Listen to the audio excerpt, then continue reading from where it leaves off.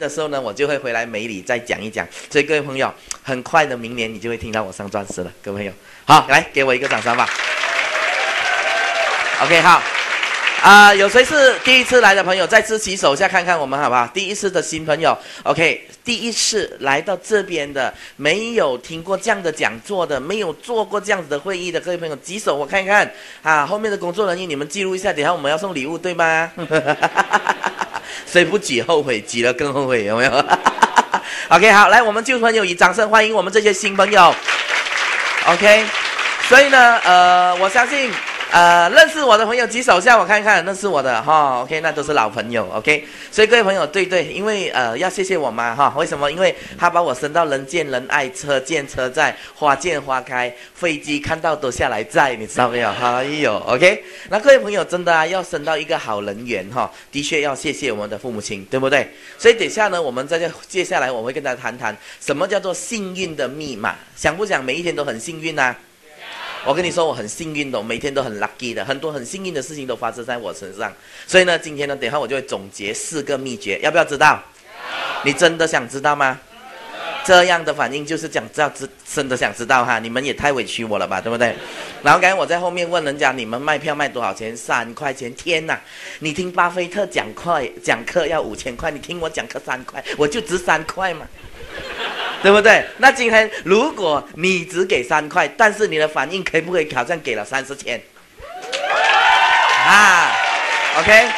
然后我讲课有一个习惯哦，我不希望你太严肃。然后我问你对不对，你就要对对对点头，OK。然后呢，第二你要微笑，听懂没有啊？微笑点头。然后呢，问你是不是，你要回答是。我讲很多，你就讲这几句，会不会吃亏？那如果你呆呆傻傻的看着我的表情，就是说老师，你差不多应该下来了，是我上去讲了哈。那我就会轮你讲，好不好？要不要？要哈，还有人听到？OK，所以要不要？因为一个人的观念呢是很难被改变，但是呢观念改变呢靠气气氛，听懂没有？那今天我们就要借助这个 IBO 的这个会场来介绍我的磁场，然后呢去改变一些新朋友呢对人生的这个我们所谓的观点跟看法，听懂没有？今天呢，前面的这一些呢，我们一定会跟大家探讨。那我们不是是不是非安利不做？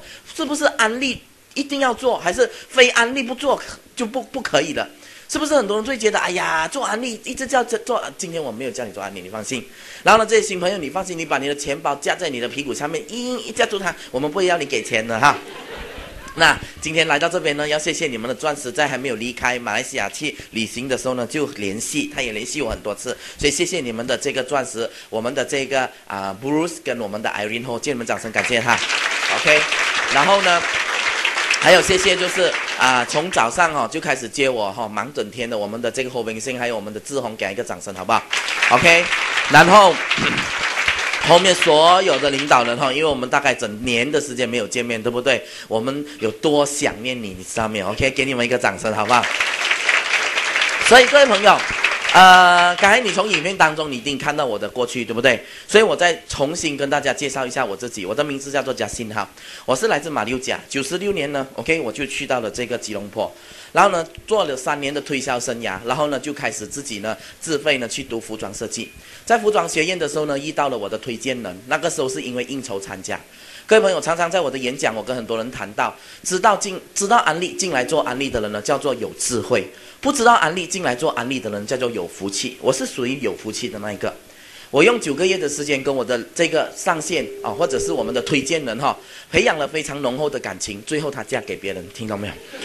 但是呢，他借了给别别人呢。OK，那时候呢，用九个月我跟他培养的感情呢，我就参加了安利。但是我没把安利当成是一回事。所以各位朋友呢，九个月以后呢，我就开始去上班。各位朋友，早上给老板骂，OK，晚上回家骂老板，一天三个门，一年三个等。然后呢，那时我已经二十三岁了。然后呢，有一次在做错，就是剪错布的时候呢，给老板呢，OK，侮辱，就是骂我叫做妥碎嘎，你们听懂对不对？那妥碎嘎真的骂过去是不是很好，对不对？但是各位朋友，那个时候呢，我开始觉得钱不是万能，但是没钱万万不能。有钱未必开心，但是没钱多数都不开心。所以老板一骂呢，就让我回想到我们十二岁的时候呢，我们家里很穷的时候。各位朋友，我的爸爸哈是呃，我的爸爸是教工，我的妈妈呢是呃教工，所以我们来自一个非常贫穷的家庭。十二岁的时候，因为我们家里没钱，所以呢，各位朋友，我们就从小被别人看不起。我们个五十个兄弟姐妹在还没有走进来安利这个环境的时候呢，我们只有三个字，叫做自卑感，听懂没有？所以呢，我有一个小我大概十一岁的妹妹，好属蛇的，OK。然后呢，那个时候呢，我还记得她出事的时候呢，是我们家里环境最不好。然后那个时候呢，我的妹妹因为我们没家雇没钱雇保姆，我的妈妈必须要去做工厂哈，一天九块钱。我的爸爸必须要去卖衣。然后呢，我的妹妹呢就好像一个书包这样子，然后我又很疼妹妹，因为长兄为父，你知道没有？所以我的妹妹就好像 luggage 这样子，今天要睡印度人家，明天要睡马来人家，然后就是好像这样子寄人家的家，寄到晚上回来我们就找她。所以我非常不喜欢那种过去，所以我到今天我都觉得我亏欠我这个妹妹太多。所以今天因为有安利，我们真的是完全弥补给她，她也在安利呢，很快呢，很快会上钻石。各位朋友，所以呢，我常常跟很多人讲，给父母亲最好的礼物呢是荣耀，给家里最好的礼物呢是保障，给兄弟姐妹最好的礼物呢是机会。我姐应该明年会上翡翠哈，OK。然后呢，我的妹妹我相信彩霞很多人都认识，应该很快会上蓝宝石。所以可以呢，给这个兄弟姐妹最好的礼物呢是机会，给朋友最好的礼物是希望。以前我们自己的没希望，但是怎么给别人希望？各位朋友，今天我们坐在这边，我就跟你做上朋友了。通过的分享，我相信大家一定会对你的人生有一些启发。你不一定要做安利，但是你听我讲课，你要怎么样呢？陶醉在里面，你要开始去探讨你人生的问题，听懂没有？人生的本身呢，就是有挑战的。很多人说做安利很有挑战，各位朋友，我想要想过再问你们一下：难道不做安利，你人生就没有挑战吗？真的吗？难道你不做安利，难道你不想要成功，你就没有挑战吗？各位朋友，有没有挑战？对不对？所以我的老师常常讲：怕苦的人苦一辈子，不怕苦的人呢苦半辈子。贫穷可以是我们人生的一个过程，但是它不能够是全过程，对吗？各位朋友，你看到我成长讲话很慢了哈，对不对？但是呢，因为我觉得慢慢讲你才能够听得懂，听懂没有？成长不是我有话要说，你要听得懂、看得懂。所以那个时候呢，就是因为老板的拖衰嘎，把我给骂醒了。有的时候我们必须要感谢鞭策我们的人跟看不起我们的人。各位朋友，今天你觉得如果没有钱跟别人借钱苦不苦？不苦。你借了以后，人家不借你，那个才苦。听懂没有？各位朋友，如果人家你跟人家借钱，人家不借你，苦不苦？不苦。OK，最苦的就是你走出门口，人都在里面，呸，没出息，给人家看不起，苦不苦？给人家看不起不苦，自己看不起自己才苦。有多少人哈？每一天自己看不起自己，肢体没有残障，但是思想偏偏就残障。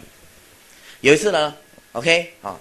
我最近开悟了，很多人都都把我叫老师，OK，我就把自己讲老师，OK。很多人就有一次我在 JB 讲课的时候，一个二十五岁的年轻人就来听我课，听完课我就跟他在沟通。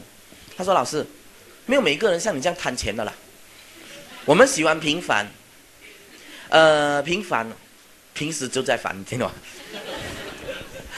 然后我问他：“你呃，你妈几岁了？”他说：“妈五十八岁了。”爸爸多少岁了？爸爸六十岁，下面还有一个弟弟。妈妈是不是很辛苦让你读大学？啊，对，一个二十五岁大学毕业生，竟然跟我说他选择平凡，最后我的气呀，血压马上飙高啊！本来讲话很慢的，突然间想骂人呐！我跟你讲，我说如果我们呐，每一个二十五岁的年轻人呐，华人呐，没有想要更好，没有想要更努力，我们的下一代还有希望吗？你觉得还有吗？每个二十五岁的年轻人不想要更好，你觉得你下一代还有希望吗？各位朋友，我们这一个改变不了的事实，我们是这里的二等公民，走进银行、走进政府部门，待遇都不一样。今天你去看看，我们供房子跟土著的价钱一不一样？你还不知道死？你说平凡，这个一定要砍掉，不能点内安法令抓我。但是原谅我，为什么？因为我要跟你讲。没有危机就是最大的危机，没有陷阱的人呢，就是人生一定有陷阱的，听懂没有？在顺境的时候呢，我们必须要找退路；在逆境的时候呢，我们才有出路，认同吗？对不对？我讲对不对？有没有道理？还没有人跟上哈，OK，很多后面还有很多人呆呆看着我，你要上来讲哈。谢谢。OK，好，那各位朋友，那一天就把我给骂醒了。两天没睡觉，然后呢，我推荐人开始要离开马来西亚去纽西兰的时候，他就拨了一通电话约我出席一场会议，那个就是家庭会议。那个时候呢，他是用他的食物来吸引我，因为我这种哈，那个时候很穷，吃免费的食物我是很快就去的，听到没有？然后呢，就把食物给吃完，差不多整要十点的时候，他不放我回家。所以各位朋友，刚才你们来的时候，新朋友有没有吃到一些老朋友嗯啊请你吃的东西？你们惨了。M A 人的东西不可以乱吃。你今天吃完，你要听到晚上凌晨一点。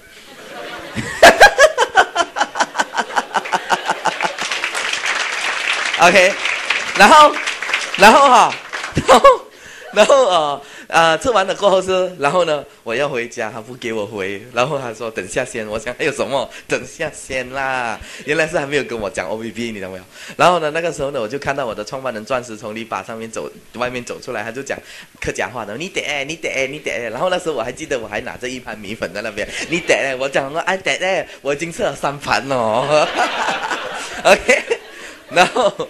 然后啊，OK，然后呢，然后就跟你讲话喽。讲话的时候，你就一直推推推推，一不一一下推推推就到了客厅了，你知道吗？然后呢，一到客厅的时候很奇怪，一转过去后面就是椅子的沙发椅，然后上线坐左边，上上线坐右边。然后呢，那个方特丹们罗布里利就在前面。然后呢，白板就一下子冲出来了。然后呢，进退两难，然后没有办法，必须要坐下来。那个时候我有一点感觉，好像被强奸，你懂没有？各位朋友，你不要误会哦，强奸不是所谓的那种肮脏东西啊。强奸的意思呢，它的定义是这样，就是被逼做你不喜欢做的，没有在你自己的情愿底下被逼做那件事，就叫强奸。听到没有？有没有很多安利人到处去强奸别人，是吧？有没有？哈，OK，最后搞得自己枕头包，然后自己都想退出。这个明天离得去我们才讲。所以各位朋友，的确那天呢，我真的是呃被强奸了，但是。但是强奸久了会喜欢的，对不对？人就是这样贱的嘛。然后呢，就做下去了。说，我很我相信很多人这边有的做到很积极的，以前都是被骗来的，对吗？有没有？现在被强奸习惯了，没被强奸，没被强奸好像也不爽，有没有？锁脚、锁心头、锁眉头。我就跟我的推荐人说，这个肥肥的安迪几天要讲完，然后，然后我的推荐人跟我太说，就从旁边捏我的肥肥的肉，那个是来门来的，然后那个时候你知道那些安迪吃 M A 的那个营养是多有中气，你懂没有？就做这样的距离，他一讲话就喷我的脸，喷喷，我就是傻，你就是傻。你觉得我有听 M A 吗？我没有听啊，各位朋友。但是呢，最后我听到他讲一句广东话，少妹，少妹就是要完了。快点我要回了。但是他问了一句话哈，真的是让我开始真正的去思考。各位朋友，你们有没有去思考一下自己人生的价值？你的价值是别人帮你决定的，还是自己决定的？谁自己决定自己价值的朋友举手。OK，然后你已经赚到你自己想赚的那个价值的钱的举手。你在上班还是读书，小弟？读书哈，就是在读书才讲这么天真无邪的话，对不对？所以各位朋友，人生的价值，OK，还在上班的朋友举手，我看看。如果你还在上班，你的人生的价值就不叫自己决定，你有一个价钱，听到没有？那你要知道你值多少钱吗？很简单，你的现在的收入，OK。除以你一个月到底做多少天？很多人都是做二十六天，对不对？再除以每一个天你做多少个小时，那就等于你一个小时的收入值多少钱？各位朋友，那时我算的时候，我要给些九九百五十块给老板骂头所以刚还被侮辱。我的价钱竟然只值两块多，我还比芒格列便宜。是不是很多人都是这样啊？自以为是，我没有兴趣，我不要。Not interested, interested。叫我来听这种什么死鬼东西？什么死鬼？要灭要灭！好了好了，应酬你了，应酬哦，这样。有谁是被应酬了？是来应酬的，举手。我们后面有送礼物的嘞。哎，应酬的朋友你要举手啊！你不举后悔，举得更后悔，听我跟你说。各位朋友，听完他，今天肯定不可以，不会让你浪费那三块钱。其实我自己心里很不平衡，我就值三块钱。听到没有？各位朋友，有一个故事就是这样，有一群学生呢，就上山爬山，爬得很累啊，爬爬爬爬，走到半山的时候呢，已经跳退了，踢退就是腿腿很跳很痛啊，就看到在半山呢有一堆堆的这个沙包，然后呢，这个沙包呢旁边呢就插了一个牌，就说拿了后悔，不拿更后悔。所以呢，这一群年轻人就开始讲：“哎呀，都这样麻烦了，还拿这种垃圾回去干嘛？对不对？”所以呢，最后呢，有一个呢，他就因为有一个心呢，叫做好奇心。他讲什么东西叫做拿了后悔不拿更后悔嘞？我想要知道，所以呢，他就看到最小包，他就挑最小包的拿回家。然后当每个人都回家的时候呢，他在晚上要睡觉前呢，就开始把那个那个那个小包他拿回来的那包沙哈开来看，才发现原来每一颗小小粒的那个东西呢，就是一卡拉一卡拉的钻石。哎呀，就是拿了后悔，为什么刚才不拿多一点？不拿后悔，好彩有拿，不拿你会更后悔，因为你知道它是一卡拉钻石，对吗？很多人都是这样的，来听安利。哎呀，没有什么的吗？哎，我们明天还有的吗？各位朋友，我讲的课跟别人不一样。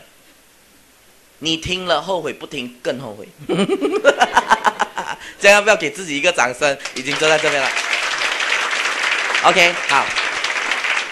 然后呢，那个晚上呢，我开始呢在思考一个四个字，叫人生的价值。我在思考的几个问题，各位朋友，你一定要抄起来。我是谁？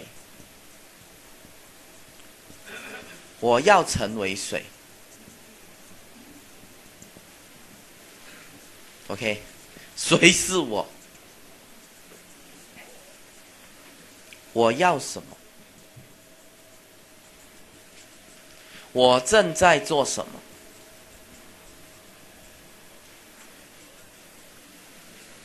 我应该做什么？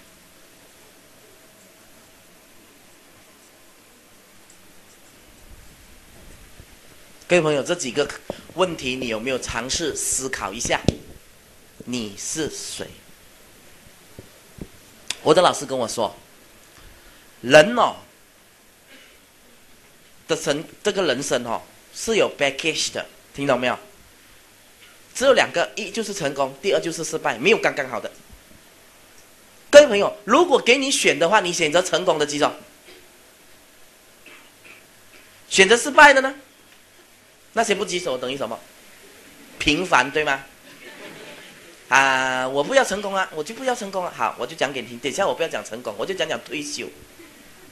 退休也有 b a g e t 的，富贵山庄也有 fellow，也有 semi，也有是有那个。你不棘手，我再问一次。人生有两个结果，一就是成功，第二就是失败。想成功的棘手。OK，想失败的棘手。还是有没有听懂哈？OK，人生有两个结果，一就是成功，成功的意思叫做多姿多彩；另外一个叫失败，叫多灾多难。OK，你要哪一个多？想要多姿多彩的人生的朋友举手。OK，你终于听得懂我讲人话，因为我讲话你要共鸣，不然再讲下去没意思，听懂吗？是不是？对不对？有没有道理？是不是有 vacation？你会突然间一觉醒来，哦，我很成功了，很有钱，有没有这样的事情？你等，你想得美。今天你也不会可能啊，撞鬼啊！突然间醒来，哎，我怎么在听这个肥肥安哥讲课？有没有？没有是吗？是不是因为经过计划跟规划来的，对不对？OK，好。谁知道什么叫 GPS 的举手？GPS，知道 GPS 对不对？GPS 不是在还没有用的时候呢？导航系统需要叫你 set 那个 destination 的，对不对？各位朋友，同样的，我们的人生五十五岁的生活，就是现在你开始要 set 你的 destination 了，不然的话呢，定位不当，终身流浪。各位朋友，你要记得，这里有些长辈，我相信你一定会感同身受我讲的东西哈。OK，所以各位朋友，我是谁？有一次我在新加坡讲课的时候呢，一个从英国伦敦毕业的一个硕士。刚刚跟老板吵架，然后就丢心不做了，然后就来说：“老师，我真的很生气，我老板哇，我讲了头头出杀老板。”然后最后他跟我讲：“老师，原来我才发现我的老板哦，只读小学二年级。”嗯，所以我跟他说啊，靓仔，你跟你老板之间的关系只有两个字就能够解决了，叫定位。训练你的老板，OK，只小学二年级，但是一开始他的定位就不一样。你念这么多的书，你就叫做上知天文，下知地理，中间找不到自己。有一个博士要渡江，然后呢，就在渡江的时候呢，就就闲着没事干，就开始喜欢玩考试。因为博士就有的读太多书，思想太复杂，恐孤立，说不到他喜欢考试，考人家有没有？他以为他知道的就是全部，最厉害的。他就问船夫啊，船夫啊，我想问你哈，呃，你知道什么叫天文吗？那个船夫说，嘿，我什么书都没念过，什么叫天文我不懂。哦，你生命剩下六十八仙。然后呢，哦，呃，是啊，剩下六八十六十八仙了。哦，就 就在挖挖挖，再多半个小时，那个博士又考试。船夫啊，船夫，那你知道什么叫做地理吗？那个船夫讲，哇，不知道哦。那你生命剩下二十八仙。然后突然间刮风啊，哇，那个船摇得很厉害。这时船夫就问他：“博士，博士，你懂不懂哈？什么叫做游泳啊？” 那博士就讲他什么都会，就不会游泳。哦，那你生命剩下零。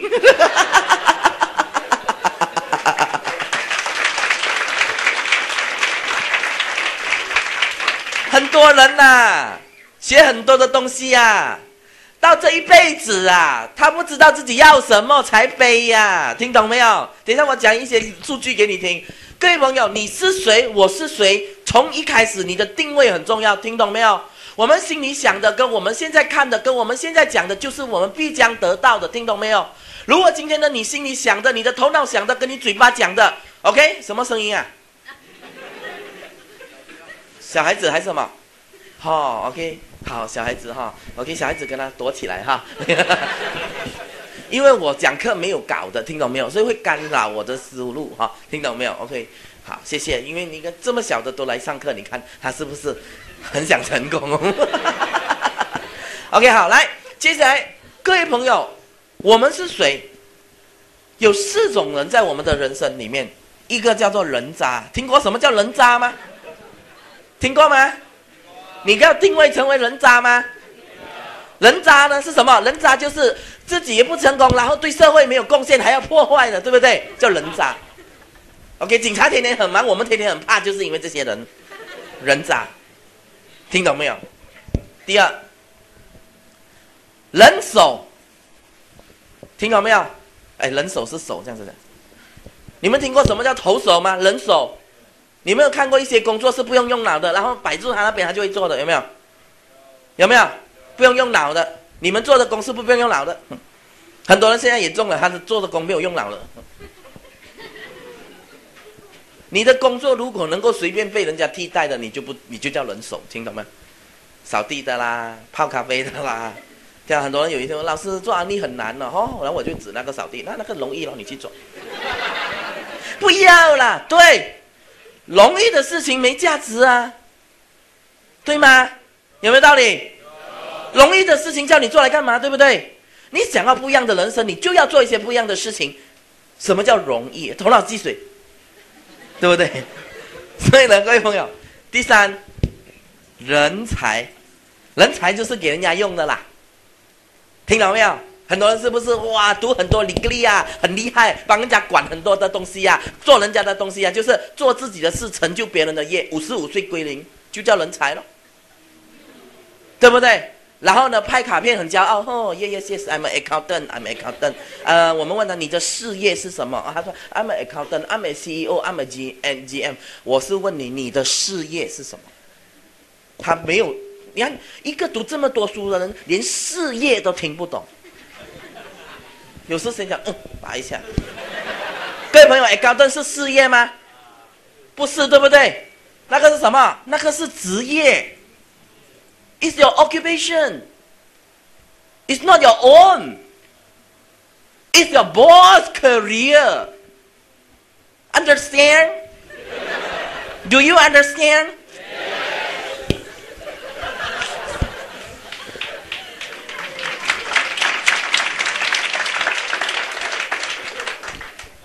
职业并不代表你的事业，你今天不做看，价钱谁决定？还要骄傲哦，因为这人在公司管几个人都很骄傲了。这样气的有没有这样的人？这样气的，最 cheap 是你，没有把自己身份放下，对不对？明白吗？所以以前有一个小孩子，养了一一一条狗，那个狗是很厉害，跟人家斗狗啊，斗斗，哇！每次人家跟他斗，那个都被他打死，所以呢就目中无人，到处找人挑战。有一次就去到另外一个乡村。要进去找人家挑战的时候呢，就在一棵树下看到一个穿着破破衣服的老安哥，旁边又有一只哈，OK，好像没有什么毛的狗。要经过过后的时候，就看一下，哎，这个也是有狗啊，明白吗？哎，老人家起来，叫你的狗跟我吠一下。哇，那他那条，那个没有毛的，呀，不要啦，不要啦，你的一定赢的啦，你的最梗的，你的最厉害，不要不要不要，叫他起来跟我吠。哎呀，所以那个老人家给他吵到实在不行啊，就拍拍那个没有毛的那个，拿那个就，一二三，那条很会逗的那些小孩子，那条小孩子的狗不到三分钟变成肉酱，吓死那个年轻人。老人家，你这条叫什么狗？哦，我记得它还没有脱毛以前叫狮子。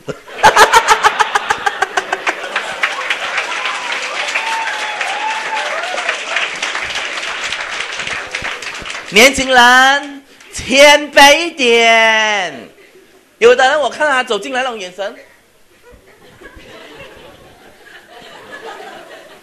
你的眼神可以谦卑一点吗？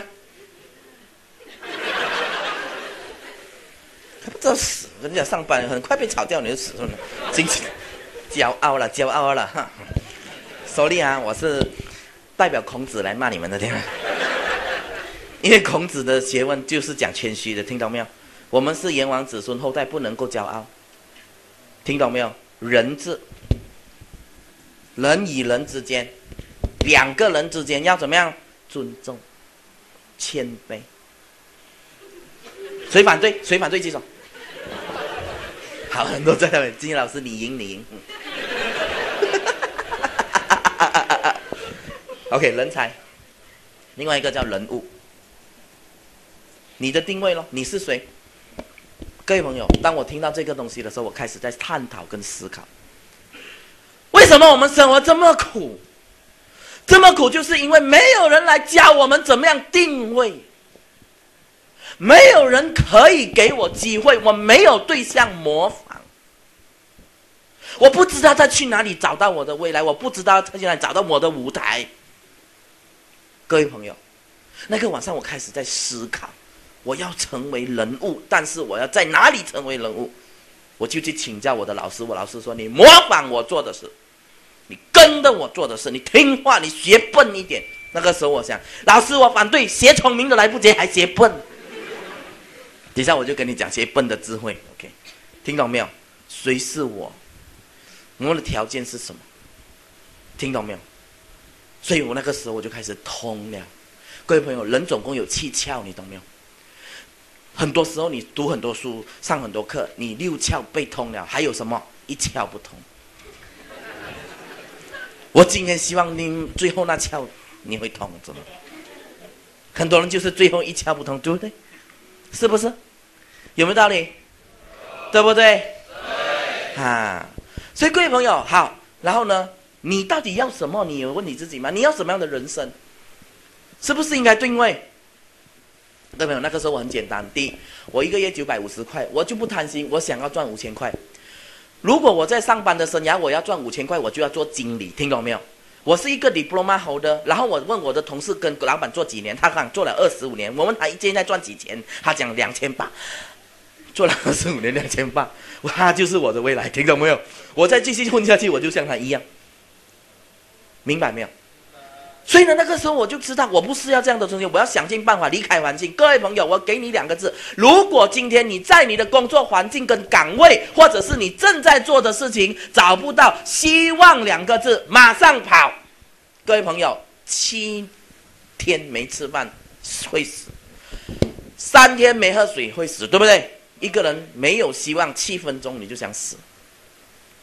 为什么很多人头低低？为什么很多人很很 down？为什么呢很多人 depress 最近你们一翻开报纸，不是这个跳楼，就是那个自杀，对不对？上个礼拜更恐怖，还有一个找不到老婆跟孩子，在自己的岳母家外面淋火水烧死，有没有？对不对？然后那个记者很坏，他写这个人在外面淋火水烧死，还殃及那些无辜的花草。我就看这句话，到底他是 这个作者很坏，这个是记者是说这个人死着应该，那些花死的不应该，听到没？你连一个花的价值都比不过，你还有用啊？我说，听懂没有？以为死了就解决了没有？没有的嘛。所以为什么老师说，在我们的顺境要找退路，在逆境的时候才有出路。这里大家不做安利不听课，今天我相信你都好好的。我知道美里没有经济问题的，美里人没有风暴的，美里人哦，我跟你讲没有经济不景气的，美里人很多都很有钱的，是啊。经济不景气有涨价有起价跟你没关系，对不对？你们今天就来应酬我而已，是不是？哎呀，没关你事，没关你事的，知道？听懂没有？OK，好。有人在偷偷笑，哪里关我事，对不对？然后谁说不关我事，对不对？OK，好，不同人不同想法。各位朋友，还有你现在正在做的事情，是不是跟你未来有关系？你要问你自己哦，谁现在做的事情跟他未来有关系的朋友举手。少数人哈，OK，好。那其他那些是不是已经达到成功圆满人生？是应该你上来讲我听了，对不对？OK，好。然后呢，我应该做什么？所以那个时候呢，我真的是大彻大悟。各位朋友，大彻大悟，听懂吗？二十三岁的某年某月，我大彻大悟，我应该做什么？我应该先抛弃我的理想，然后呢是实现我的梦想，最后我的梦想会实现我的理想。所以我一二零零三年很努力的去奋斗，然后二零零六年我做翡翠，我从一个五千，我从一个九百五十块收入的变成一个月一万块的收入的人，我突然间满足了。然后呢，我就开始觉得，哎呀，很不错了啦。然后就买了房子给妈妈。然后最近我们买一套 C M D 给爸爸妈妈。你都不知道哦，很骄傲的咯。我的爸爸妈妈在新年前就进我们新房子 C M D。然后呢，我的姐姐呢就买了一套很漂亮的皮沙发给他坐。然后我妈妈就坐在上面了，就坐在上面。哎呦，他讲，哎呦，以前穷到哦，我们住那种鬼屋哦，现在可以住这样大间的屋子，嗯，活多十年够了。我说妈，我本来有一百八十岁的命，我折八十年寿，我活一百岁就好，让你八另外八十岁给你，听到没有？我希望他们能够长命百岁，看到我们的成功。各位朋友，今天我们五个兄弟姐妹非常的骄傲。有一天，我的朋友问我家新号，你们做有没有做到怎样？我讲不会很不会怎样啦，但是要穷是没有机会了，差一点从椅子滚下去的。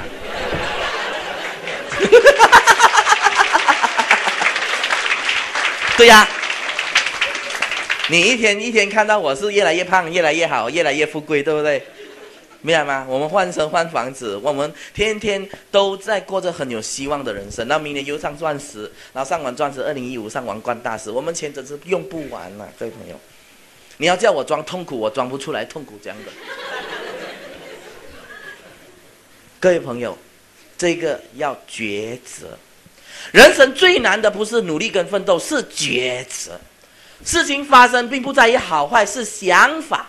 我没有恨我那个骂我的老板，到今天我很感激他，你知道吗？二十三岁的那一年那一日，他骂我头碎干，让我的生命从此开始产生了很多的变化。因为当他骂醒了我，当我开始想要改变的时候呢，就有很多的安排陆续的接着接着接着安排到我边上，然后呢，我掌握了机会，最后呢，我改变了我的命运，不是改行，命运改变。各位朋友，那个时候到底我听了什么？你们想不想知道？想不想懂？真的想知道吗？你真的想知道吗？真的吗？真的想要举手看？嗯，OK，好，来，我们就讲给你听。那不想要的可以回了哈，因为你不要应酬我。哎呦，你们也要醒目一点，冲上来跟我差，听到没有？OK，还有两个我要你配合的，我喝水，你要拍掌，我。有人差一板，我没讲话，你要拍掌，可不可以配合？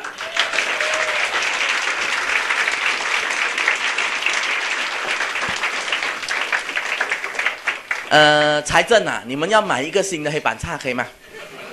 那个黑板擦可以灭的，就抹到很干净了。OK，好，来，各位朋友，那今天我问你，人生如果只有两个结果，一个是成功，跟另外一个叫做失败。各位朋友，我们的人生没有一半一半的，听懂没有？成功跟失败，大家刚才已经举手，你选择成功，对吗？还有第二个，再问你自己的，你正在做的事情跟你的成功有关系吗？听懂没有？所以第一本书我要介绍你们读的这本书呢，叫做《高效能七个人士》，它的作者叫做 Steven 口味，有没有听过？谁不知道什么叫谁是 Steven 口味的举手？不知道 Steven 口味的举手。有一次我讲的时候，那个人问我那是什么东西，他是人来的不是东西，我讲。惨了，对朋友。你知道吗？每一年哈，那些年收入超过百万的，他们都有做过审查。这些百万富翁哈，他们每一年都最少读掉十九本书。怪不得百万富翁不是你，因为你没有读书。从大学毕业那一天开始，你再也没有接触过书。各位朋友，真的，你要知道，成功呢是要相信经验的，所以我们一定要从书本里面呢得到成功人士的经验，我们才能够快速的去成长跟改变。所以改变的速度快，谁的成长快？谁的成长快，谁的成绩快？谁的成绩快，谁的命运改变的快？听懂没有？所以呢，Steven 口味呢，你们今晚可以上你们的谷歌上去 search 一下，OK？他这本书呢叫做《高效能七个人士》，高效。能力人士七个习惯，Seven Habits with Highly Effective People，听懂没有？这本书如果真的想改变的，你要看。他说我们这一辈子呢，天天都在忙四件事情，OK？紧急、重要，听懂没有？很紧急、很重要的事情，明白吗？很紧急不重要，不紧急不重要，不紧急。很重要。什么叫做很紧急、很重要呢？就是今天你必须要上班呐，上班才有钱呐，才有钱吃饭呐，孩子才有钱上学啊，这叫做很紧急、很重要的。听懂没有？什么叫做很紧急但是不重要呢？email 啦，应酬啦，听懂没有？很多的消遣呐，叫做很紧急、不重要的。这些都你没有气有气都不会影响你，也不影响人家的，叫做不紧急，哎，不重要，但是哎很紧急，但是不重要。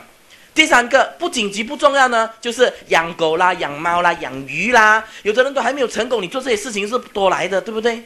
有没有很多年轻人是不是会去那个你说哔哔哔哔哔哔哔，那是不是不紧急又不重要的，对不对？对你人生是没有关系的。但是呢，他天天很多人呢，每一天都在忙是这三件事情。但是呢，有一件事情叫做不紧急很重要的这个东西呢，很多人没有去做。各位朋友，你们知道什么叫做不紧急但是很重要吗？OK，第一，退休生活的规划。各位朋友，你已经规划好的举手。哇，几乎没有人规划好退休。各位朋友，这个退休不是马上退休，但是再多十年、二十年，是不是要退休？是不是？很多人讲，哎呀，我不喜欢退休的，我会做到老的。哈，你要做到老，有一必一定有老板请你哦。如果你活到五十五岁，有可能已经有关节炎、糖尿病哦，你老板请你，他要付出惨痛的代价。听懂没有？所以呢，没有人要请你们这样老老的人的啦。你们自己回去想想，听懂没有？所以呢，人生规划呢，就是属于不紧急，但是呢，它是非常重要的事情。今天各位朋友，这个不紧急很重要的事情，如果你不去规划，有一天它就会变成很紧急很重要的事情。听懂没有？第二，健康计划，健康计划是不是不紧急，但是很重要？你如果今天你没有种什么叫做保健知识，你没有把自己的健康搞好，改天会生病，对不对？改天生病就变成很紧急、很重要的事情了，听懂没有？第三，学习跟成长，各位朋友，现在的学习有可能不会马上让你带来财富，但是呢，在未来的日子，当你需要用的时候呢，你有满满的知识，各位朋友，你就不会被这个趋势淘汰。今天呢，每一次呢，在危机里面呢，都是要淘汰一些低能儿，要淘汰一些没有做好准备的人，各位朋友。但是呢，每一次在危机的时候呢，都有一群人呢脱颖而出，变成了百万富翁，是因为他们知道，在十年前有听过一堂课，叫做不紧急很重要，听懂没有？他们准备好了，明白没有？所以呢，接下来呢，人际关系的培养是非常的重要。所以到今天为止，还有谁是整个市场跟公司家庭的人际的低能儿？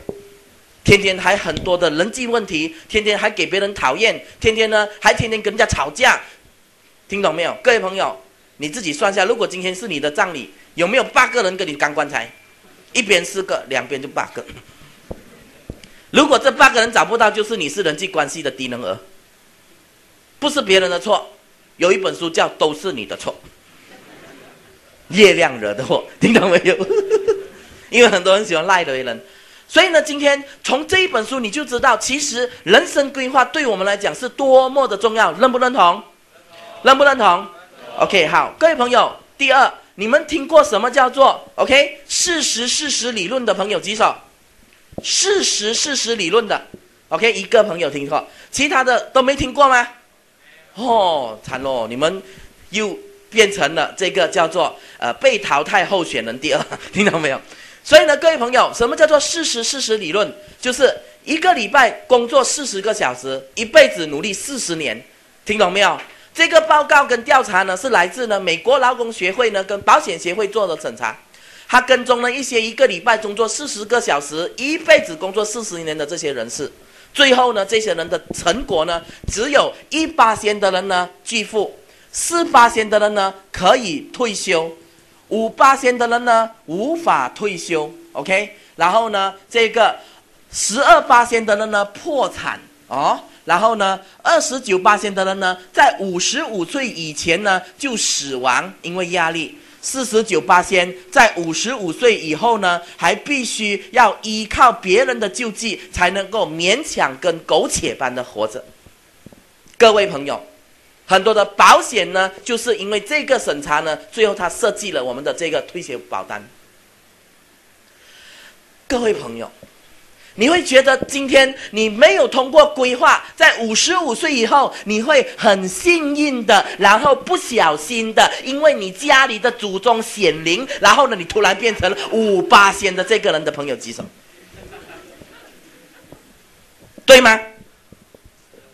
我不要讲富贵，我不要讲成功，我想五十五岁你怎么过？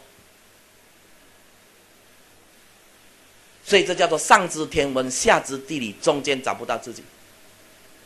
我们的学校，我们的环境，没有人教我们怎么样的去规划我们的人生。我们缺乏一所什么叫做商学院，对吗？很多人，我们常常只会怎么样呢？立短志，没有立长志，所以天天都会把一些不紧急、很重要的变成很紧急、很重要。所以各位朋友，你想下。这些人不勤劳吗？他多勤劳啊！一个礼拜工作四十小时！这些人多么努力啊！他一生人奋斗了四十年，这样子的努力跟付出，竟然不能够让他们变成有钱人，悲吗？各位朋友，你现在是不是也做超过四十个小时？是不是？如果现在的行情你还没有做超过四十小时，证明你懒惰。如如果你今天没有真正的去思考这个问题，你会从开始忙，然后呢，多几年以后呢，你就会变成了怎么样呢？茫然的忙，听懂没有？然后呢，接下来呢，你就会变成盲目的忙。不要理他，等到他发生才去处理。听懂没有？所以各位朋友，要不要规划？所以，如果今天你想要在五十五岁以前呢，就摆脱贫穷，变成五八仙的人，各位朋友，接下来这些课你就要听下去了，要不要听？要不要？要。因为我有资格跟你讲，就是我在三十岁以前呢，我就变成五八仙的人了。各位朋友，我今天不做我都有，我跟你说，我不贪心啊，一个月不做，每个月有超过一万块的朋友举手。不做你能够有一万块的朋友举手，我们不要很多钱，我们就要一万块。很多人讲切一万块，嘿，你切，你知道吗？最近的财政预算案出来了，你知道整个马来西亚这么多人在上班，有多少八千的人月收入是超过一万块的吗？知道吗？五八千，一百个人里面只有五个人收入超过一万块，你切，还骄傲啊呢？OK，一万块多不多？你觉得很多吗？通货膨胀现在是六八千，接下来会变成十二八千。一个月一万块，一天只能够用三百块，一餐只能够吃一百块。你没有在吉隆坡生活，你不知道。所以很多人问我，老师为什么你的背里面最少都两千块？不知道，因为习惯了。生活会有压抑，如果没有两千块在在皮包里面，然后我的一些新下线看到老师，你的一那个皮包就是我一个月的钱来的，这样。这样不用紧，你努力，有一天你会变成这样。因为老师以前也是九百五十块开始的，听到没有？所以各位朋友，那今天你是想想，如果你不想变成茫然的笨狼，OK？好，那我们先讲讲，如果不想成功的朋友，你会退休吗？你想过退休吗？各位朋友？世界卫生组织有做过审查，如果你有会庆祝五十五岁的生日，你就会不小心庆祝七十五岁的生日。然后呢，从五十五岁到七十五岁呢，中间还有二十年。然后呢，有两种的模式，一种就是你拖到七十五岁，另外一种呢就是活到七十五岁。各位朋友，你要不要拖到七十五岁？你觉得健康是不是要经营的？你现在这么努力去跟公司上班，一天做十二个小时，然后你觉得你五十五岁，你的 spa 会不会坏？最怕是你五十五岁坏的时候又没钱，那才可怜呐！听懂没有？就算有钱没健康也是很可悲啊！你知道吗？老师记中我讲课的时候就有听到一个这样子的故事：一个台湾的老太太很有钱，在五十八岁的那一年呢中风，然后呢因为中风过后脾气非常的暴躁，对不对？中风呢不会死，但是没有中风的人会活活给他弄死，对不对？本来孩子也很孝顺的，因为他中风，脾气暴躁，天天骂人家。最后呢，全部的孩子媳妇不敢跟他住，就搬出去。然后呢就雇了几个保姆，换了三个保姆，还是不能够忍受，因为这个太太太无理取闹了。最后一个就换到了什么这个菲律宾人。所以呢，菲律宾人反正他他孩子回来看我，对你好一点，对不对？孩子不在的时候，哼，你跟我坏，你是中风，看谁坏？折磨他，饿他，不给他吃饭。最后，这个老太太被折磨的实在不行了，从自己房间的床上哦，就爬下来地下，爬爬爬，爬进她的那个 master bedroom 那边，然后呢，放那个水在她的 bathtub，放到满满，自己硬硬把自己的头塞进那个水，就这样子活活被震死。各位朋友，哭啊！今天你是想想，很多人没有想到这一天，对不对？各位朋友，我不是在吓你，我是跟你说，不紧急很重要的事情，通通可以处理好了，只要你想要处理，认同吗？对不对？所以呢，有三个老太太在聊天。第一个老三个老太太打麻将，第一个老太太呢就讲：“哎呀，我很严重啊，最近什么事？我一打开冰橱哈，我就不知道我刚才是把东西放进去，还是要拿出来。”然后第二个讲：“哎呀，你一点都不严重，我比你严重。我哈现在严重到哦，把那个门打开，是不是？我都忘记刚才我是要走进去还是要走出来，有没有？然后呢，第三个老太太呢就在打打打打打的时候呢，她就讲。”哎呀，我都没有你们这些事的这样严重的东西。OK，好，我们继续打麻将。然后呢，突然间他就拍一下，哎，谁在敲门？听到没有？就是说，第三个老太太比他们两个还严重了，还会听到声音的，听到没有？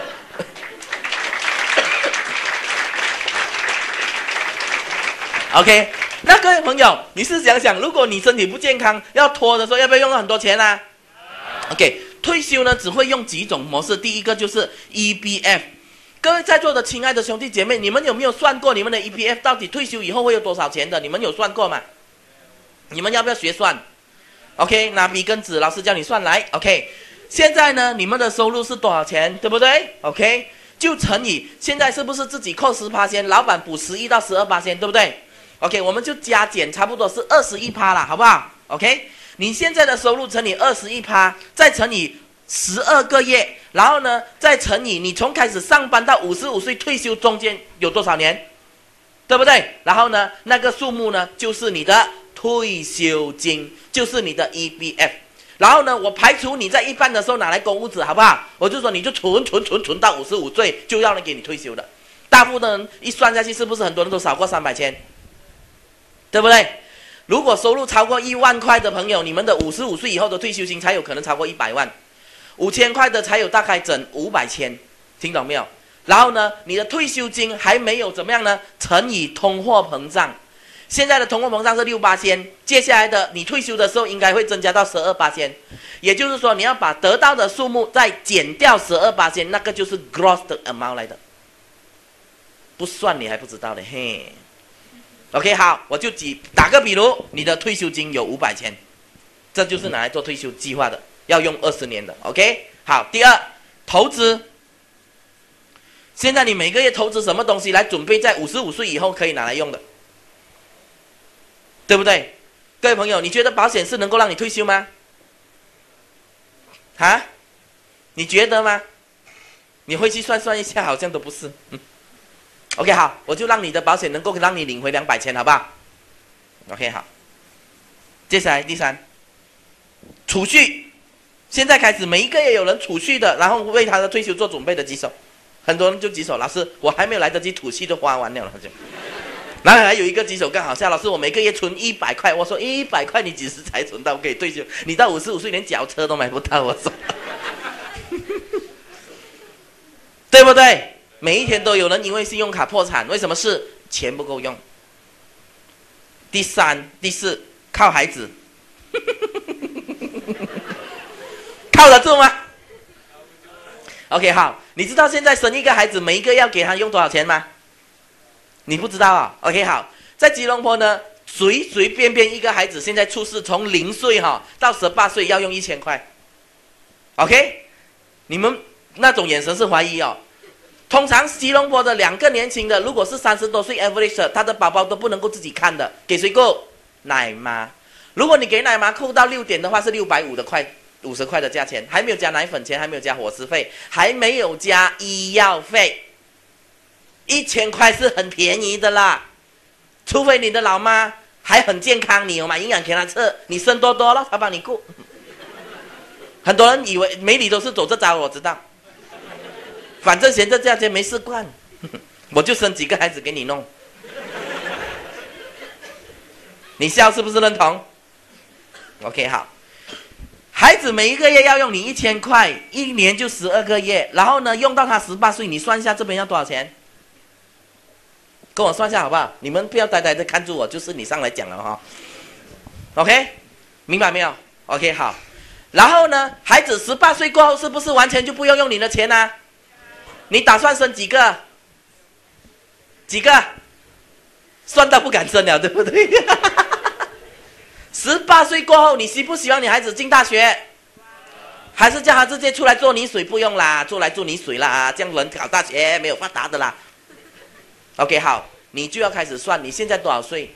你的孩子出世的时候你是多少岁？大部分的人现在都是迟婚，你生第一胎的时候都是三十二到三十三，对不对？OK，十八年过后就是你五十岁的时候呢，你孩子开始十八岁，他要进大学。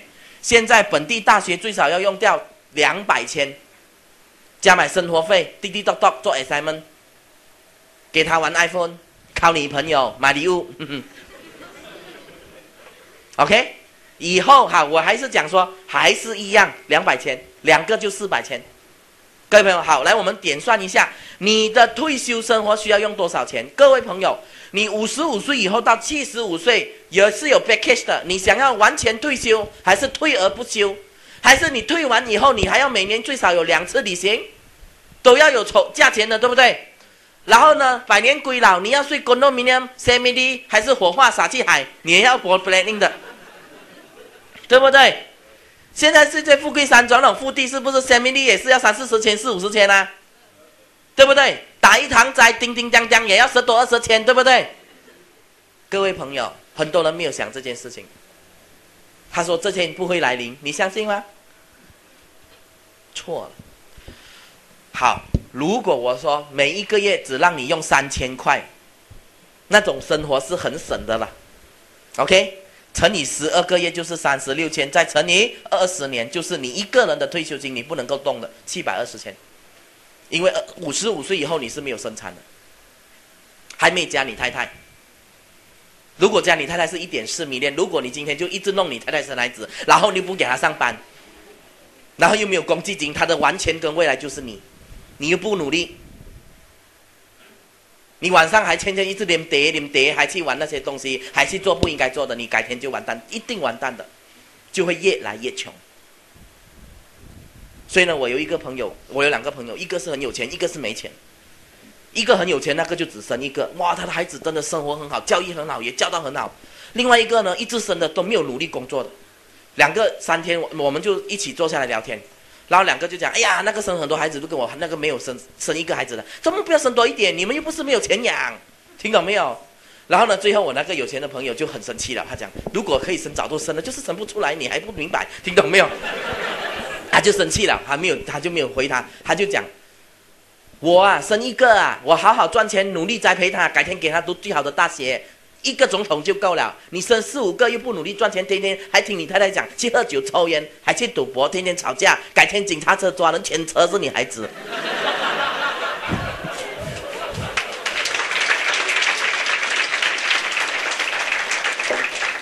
对不对？孩子是一张白纸啊，孩子的未来跟你现在的想法有关系，你知道吗？我们在这个社会，我们的孩子一出世的时候，如果就已经低人一等，他一开始就瘸一条腿，他就输在起跑点，他怎么去竞争呢？给孩子的不是钱，给孩子的是想法。很多的父母亲一直逼死孩子，但是自己不努力，天天要逼孩子考第一，这是幼稚。多少孩子十二岁从楼上跳下来？你看到那报纸，从来没给孩子鼓励，天天比较。这个改天我们讲亲子教育，把你骂醒哈，听懂吗？各位朋友，你的退休金需要七百二十千，如果你太太就乘二一点四米链，再加上你的孩子的大学金，你最少银行要有两百万。如果五十五岁以后，你的公积金根本是不够用的。我们先不要讲成功，我们先要讲你在五十五岁不会变成社会的问题。你现在应该如何处理？有去过台湾的朋友举手。你们去过台湾，你看到那边人走路快不快？他们没有家住的，对不对？他们睡那个巴萨档口上面，不然就睡路边。为什么？房子太贵了。他们一个这样小小间的房间就可以卖差不多整一百万马币，你看到没有？太贵了，而且他这个就是在淘汰穷人。没有办法，进步中的国家就会淘汰一些思想没成长的人。各位朋友，你觉得迷里不会成长吗？几年前我来，你看几年后来，迷里成长多么厉害，对不对？各位朋友，你的思想很重要，所以退休回去好好想，听懂没有？好，第第三本书我要介绍你们的，OK，就是你如果想要在五十五岁以后好好的退休，我们先不要讲荣华富贵，好不好？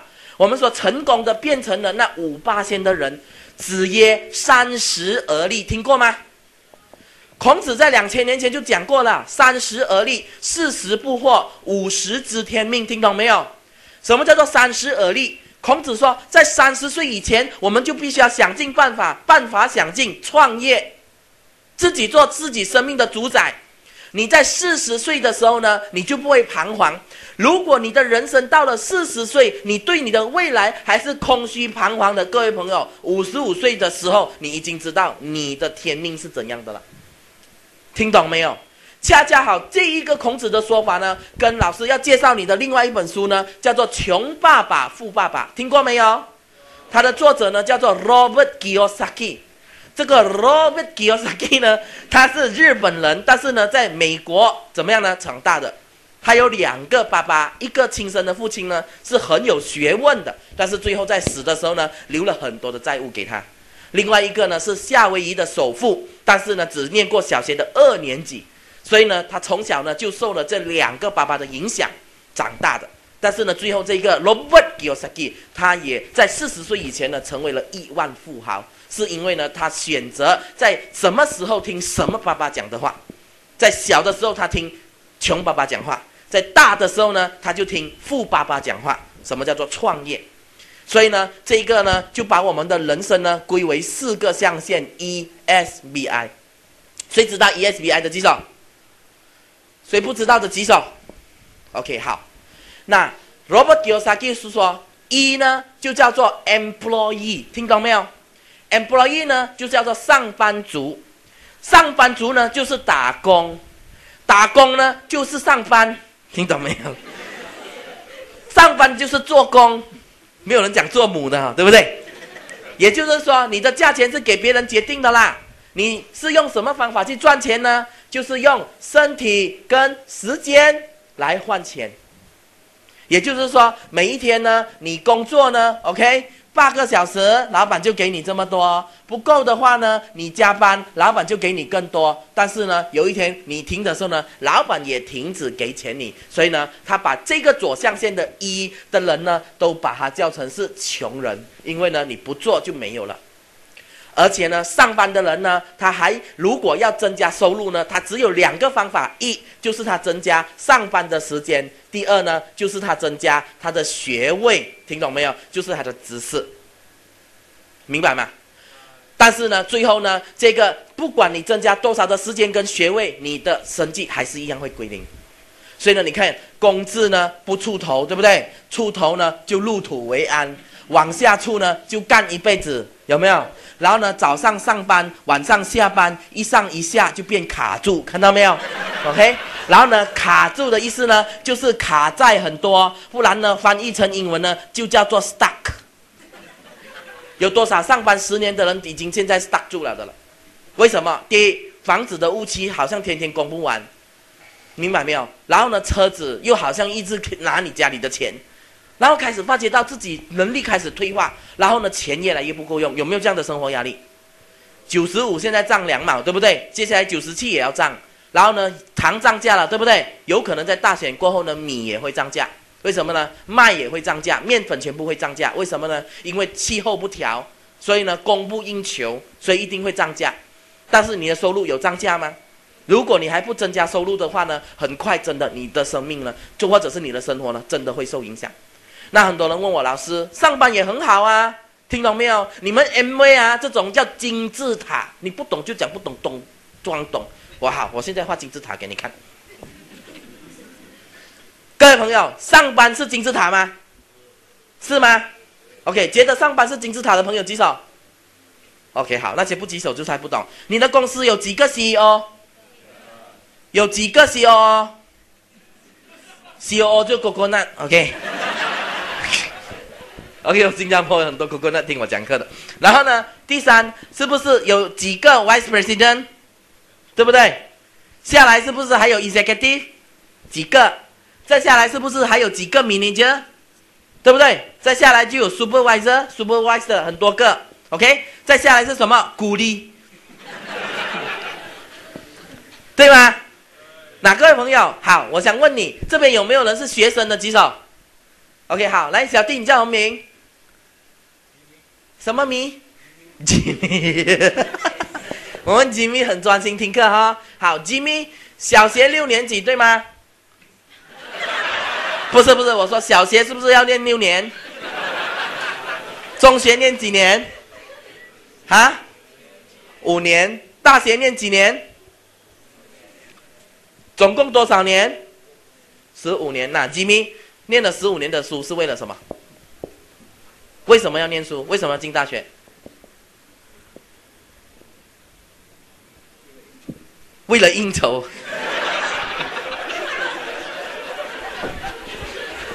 什么叫应酬？应酬老板，应酬自己跟应酬家里，他的家长有没有在这边？背呀，他的妈妈在哪里？应酬他们，其实这件事情并不是你喜爱的，你非常的勉强，感觉到被强奸。等下我们要做心理辅导哈，家长。但是没办法，我们的人生规划本来就是这样的。十岁到二十岁的时候呢，我们必须要把学业搞好。听懂没有？二十到三十岁的时候呢，我们才学会搞什么叫做事业。三十到四十岁的时候呢，我们才开始搞家业，family。四十到五十岁的时候呢，我们才开始置业，就是你喜欢做的事。五十岁到六十岁的时候呢，才叫宗教事业。你很多人到五六十岁就开始投入宗教事业，为什么呢？就是 self actualization，听懂没有？所以没有办法，Jimmy 要应酬下去。十五年，各位朋友，十五年的大学毕业以后，是不是你的位置在这里？对吗？OK，几时才会变成 CEO？这是不是金字塔？你能不能敲你的 CEO 的名这个门？Cock cock cock，CEO，One day I want to sit your seat。很快你就 go back to eat your seat，对不对？今天在座的，如果你的上限是钻石，你能够做钻石吗？这安利还是金字塔吗？你不懂就说不懂，不要装懂，别瞎说。很多人不懂装懂，一巴掌打过去，头脑积水，脑生草，胆生毛，听到没有？明白没有？这叫做金字塔。你一辈子努力十五年，你就为这金字塔在工作。各位朋友，你觉得要爬上 CEO 的人多不？多，很多，机会很少。所以有的时候明的不能，你要靠暗的，你要请摸摸，打小人。最近网上有流行打小人，有没有？OK，你要希望他能够生老病死、出车祸、小李飞刀，不然就西瓜皮，然后你才有机会坐上去，对不对？这个叫做红海策略，这叫金字塔喽。然后呢，哪里知道你做做做好了，很顺利的让你做到了 CEO。更残酷的一件事情就是说，它是有期限的，马哈蒂都要下台，你看到吗？二十五岁、三十五岁、四十五岁、五十五岁，哇，你的收收入冲冲冲冲冲冲到一个阶段不能够再上，到五十五岁归零，对不对？但是你在归零的时候，以后还要不要生活？你这一生不是五十五岁就完了，对吗？各位朋友，这叫做规划。所以为什么穷爸爸富爸爸说，在二十岁的时候呢，我们在一；三十岁就要在 S；四十岁就要在 B；五十岁才能够在 I。听懂吗？不明白的举手。OK，好，在二十岁出来上班的时候呢，你只可以上班十年。如果你想在五十五岁以后的退休生活是很有钱的，你在三十岁就要创业。你在创业的时候呢，你才能够有足够的能力去赚够你在五十五岁以后要花的钱。因为刚才老师已经跟你讲了，上班是不可能足够让你退休的，只有通过创业，我们有多种的收入，我们才能够让我们退休。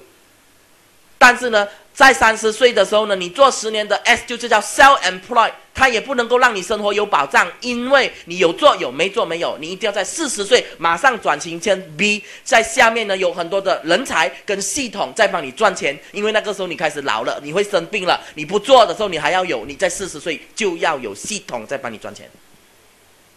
当你四十岁有系统在赚钱的时候呢，五十五岁你把那些钱拿来做投资啦、地产，所以五十五岁以后你才会变成五八仙的人。各位朋友，这叫做按部就班，知道吗，吉米？所以今天要快乐一点去应酬，知道吗？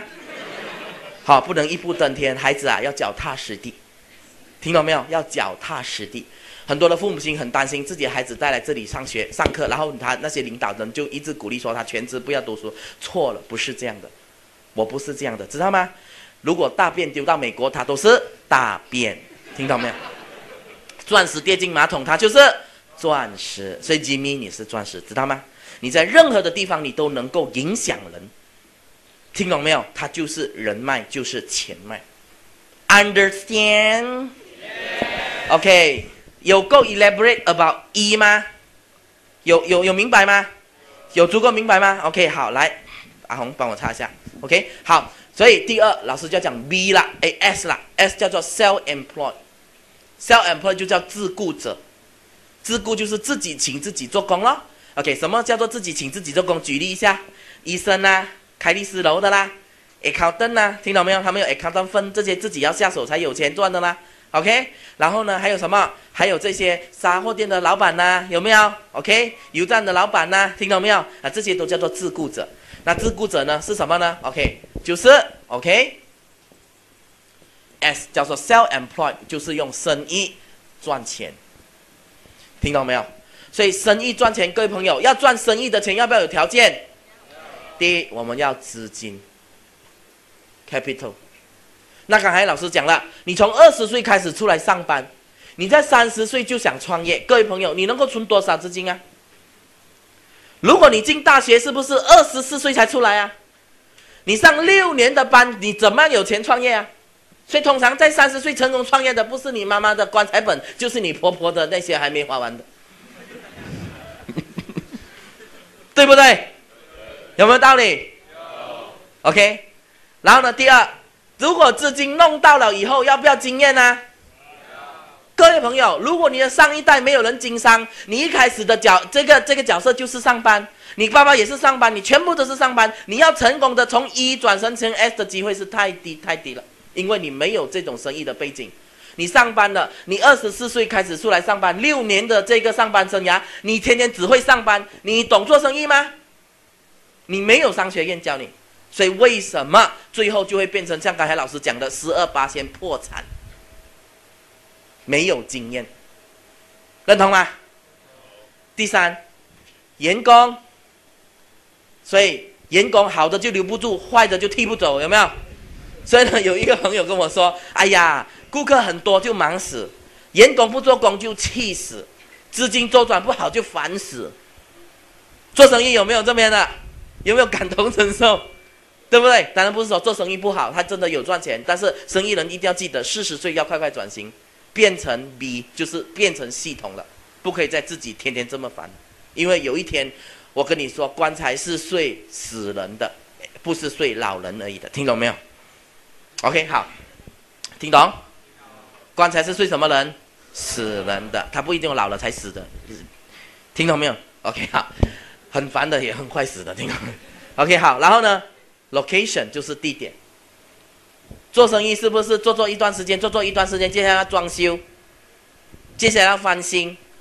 如果你的是做那种生产的，你的机器一直要 upgrade，你的机器一直供不完的，有没有？OK 好，然后最后一个还要面临竞争，就是。淘汰风险有没有看过人家做到生意倾家荡产跑路的？OK，他前面怎么样呢？可以很多亿、很多亿、很多亿、很多亿、很多亿，但是不要前面加一个零。懒谁水烧妹听过吗？水烧妹啊，很多人真的是水烧妹的。为什么？转型没几年就流行东西，没几年就在竞争了，明白没有？所以这叫做 S。OK，然后呢，B 呢是什么呢？Business owner 就是靠系统赚钱，system 来赚钱。系统呢有三个模式，第一就是你可以创造自己的系统，但是各位朋友，你看到这些成功的系统是不是一两天形成的？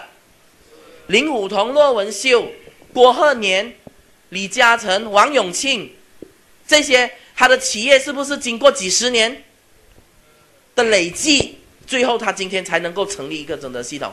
IBM、Microsoft 这些是不是很多年了才有的？你怎么能够在几年里面就变成自己有系统？所以创造系统，对我们现在二十一世纪的人来讲是遥不可及，比较没有可能。不是说没有不可能，比较没有可能。OK，好。第二，买系统。什么叫买系统呢？就是 OK，McDonald、KFC、o 刀这边有没有 o 刀 b a b a Rich，听懂没有？你只要给钱，然后你就买系统。你知道现在这个呃 McDonald 多少钱吗？一百万美金。OK，这边有没有 p a p a r i s h 啊？没有啊。你们知道什么是 p a p a r i s h 吗？以前有一个 Roti 叫做 Roti Boy 的，有没有？现在它转型变成 p a p a r i s h 了。那 p a p a r i s h 现在也差不多马币一百万，它的 franchise。Gobi 那个 o 刀你们知道多少钱吗？现在七百千。Seven Eleven 你们知道要拿多少钱吗？两百五十千。这些是帮助有钱人更有钱的。你有钱，你未必也拿得到，因为里面要有关系，知道吗？因为每一个地方只能够有几间，它是有 restriction 的，还要买通很多很多很多的。所以一百万，我只是说差不多拿那个分债，还有很多滴滴咚咚包红包那些没有算，送礼篮都没有算，知道没有？OK 好，然后呢，第三个呢？穷爸爸富爸爸就说：“如果你不能够创造系统，不能够买系统，但是你又不想五十五岁以后变穷人，你又想要有系统，你就叫参加系统，好不好？Join the system，OK？这样他就说有什么系统可以给他参加呢？你知道罗伯格萨基在那个第二本书叫《商学院》，他们有讲到，如果给他在年轻十年以前，如果还没有机会，他一定参加 M A 做 M A 的，因为他知道网络商机就是未来的趋势。”明白吗？所以你们要读这本书。所以呢，那参加买系统我讲了，那参加系统呢？他参加什么系统？就是直销或者是 e-commerce 电子商务。这是 Robert Kiyosaki 讲的，不是我讲，我是代表他讲给你听。所以呢，然后接下来呢，才能够通过钱赚钱，因为有了系统就能够通过钱赚钱。明白没有？所以呢，也就是说，如果我们在这边你要通过传统的模式，你必须要一关一关过，对不对？先去 S 才签 B，所以很多时候在 S 的时候呢，很多人就倒掉了。明白没有？所以呢，这本书就跟我们说，比较安全跟保守，而且又不会弄到你失败的，就是直接从一跳来 S，从 S 跳来 B，就是你可以用参加系统。所以底下很多人就问我，哈，参加什么系统？各位朋友，第三本书老师要介绍你的就是《财富第五波》，听过吗？谁有谈过《财富第五波》的举手？天哪，还有很多人真的不知道，你们又是第四个这个叫做将被淘汰的候选人。老师有一次讲课的时候，有一群大学生竟然读经济学，然后呢，老师讲财富第五波，然后呢，就有一个坐前面的举手，老师，我才来听第一堂课，你就讲到第五波了啊！气死我了！我问他你读什么系的，他讲读 economy 了咯。你 economy 你不知道财富第五波不同啊？那你学校念什么？所以呢，财富第五波呢这本书呢就跟我们说。未来的财富导向我们在哪里？今天我们也要知道，我们要拿那个锄头去管那个金啊，我们都要知道它的方向在哪里，对不对？如果我们去错地方，管不到就死，是不是？所以呢，这一本书呢是一个 GPS 来的，它是一本给我们知道未来的财富的发生在哪里。它的作者的名字呢叫做 Paul z a n p u l l e r 这个 Paul z a n p u l l e r 呢是美国的一个非常成功的经济学家。他分析了美国的经济跟全世界的经济导向，然后呢，他也写了一些在以前这些人是怎么样成功跟发达的，然后呢，总结了以后呢，就在总结在接下来的一百年跟两百年呢，接下来会发生怎么样的大经济变化？Revolution，听懂没有？所以呢，他就想以前的财富第一波呢，就是农业革命，以前有地的人发达，对吗？种油种的人发达，有橡胶的人发达，听懂没有？OK，然后呢，财富第二波呢是什么呢？OK，工业革命。OK，那工业革命呢是什么呢？工业革命呢就是那个时候哈，OK，牛顿坐在那个苹果树下，突然间有一天苹果跌下来，他看到那苹果跌下来，他就很奇怪，就开始想，哦，发现到是那个地心吸引力的时候呢，就开始呢啊，让人家了解怎么样开。开发重型机器呀，蒸汽机都是因为牛顿的发现，那个、那个、耶、那个、那个 gravity 才有的，你懂没有？但是以前牛顿没有坐在那个苹果树下的时候，那个苹果也是这样掉下来，他只是他只是比较先空想，然后呢，最后呢就开始了研究，所以就发明了蒸汽机，就发明了机器，然后呢把人送上天，把人送下海，然后开始就发明汽车，所以那个时候就很多人呢开始呢用工业，就是做工厂靠机器。来赚钱做生产，听懂没有？OK，然后呢，第三波呢是什么呢？就是商业革命。所以那个时候呢，啊，又发明了计算机。你知道以前的计算机要一个房间才可以装满的，听懂没有？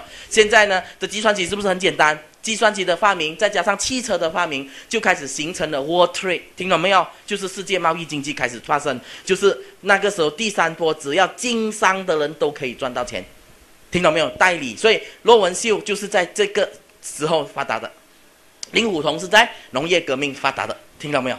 所以呢，第四波呢是什么呢？OK，叫做网络革命，听懂没有？网络革命是靠什么？智商，Bill Gates 啦，IBM 啦，Microsoft 啦，听懂没有？OK，各位朋友，你可以写吗？你会写 software 吗？OK，明白没有？OK，好。然后呢，第五波呢是什么呢？就是保健革命，OK。那为什么保健革命会发生呢？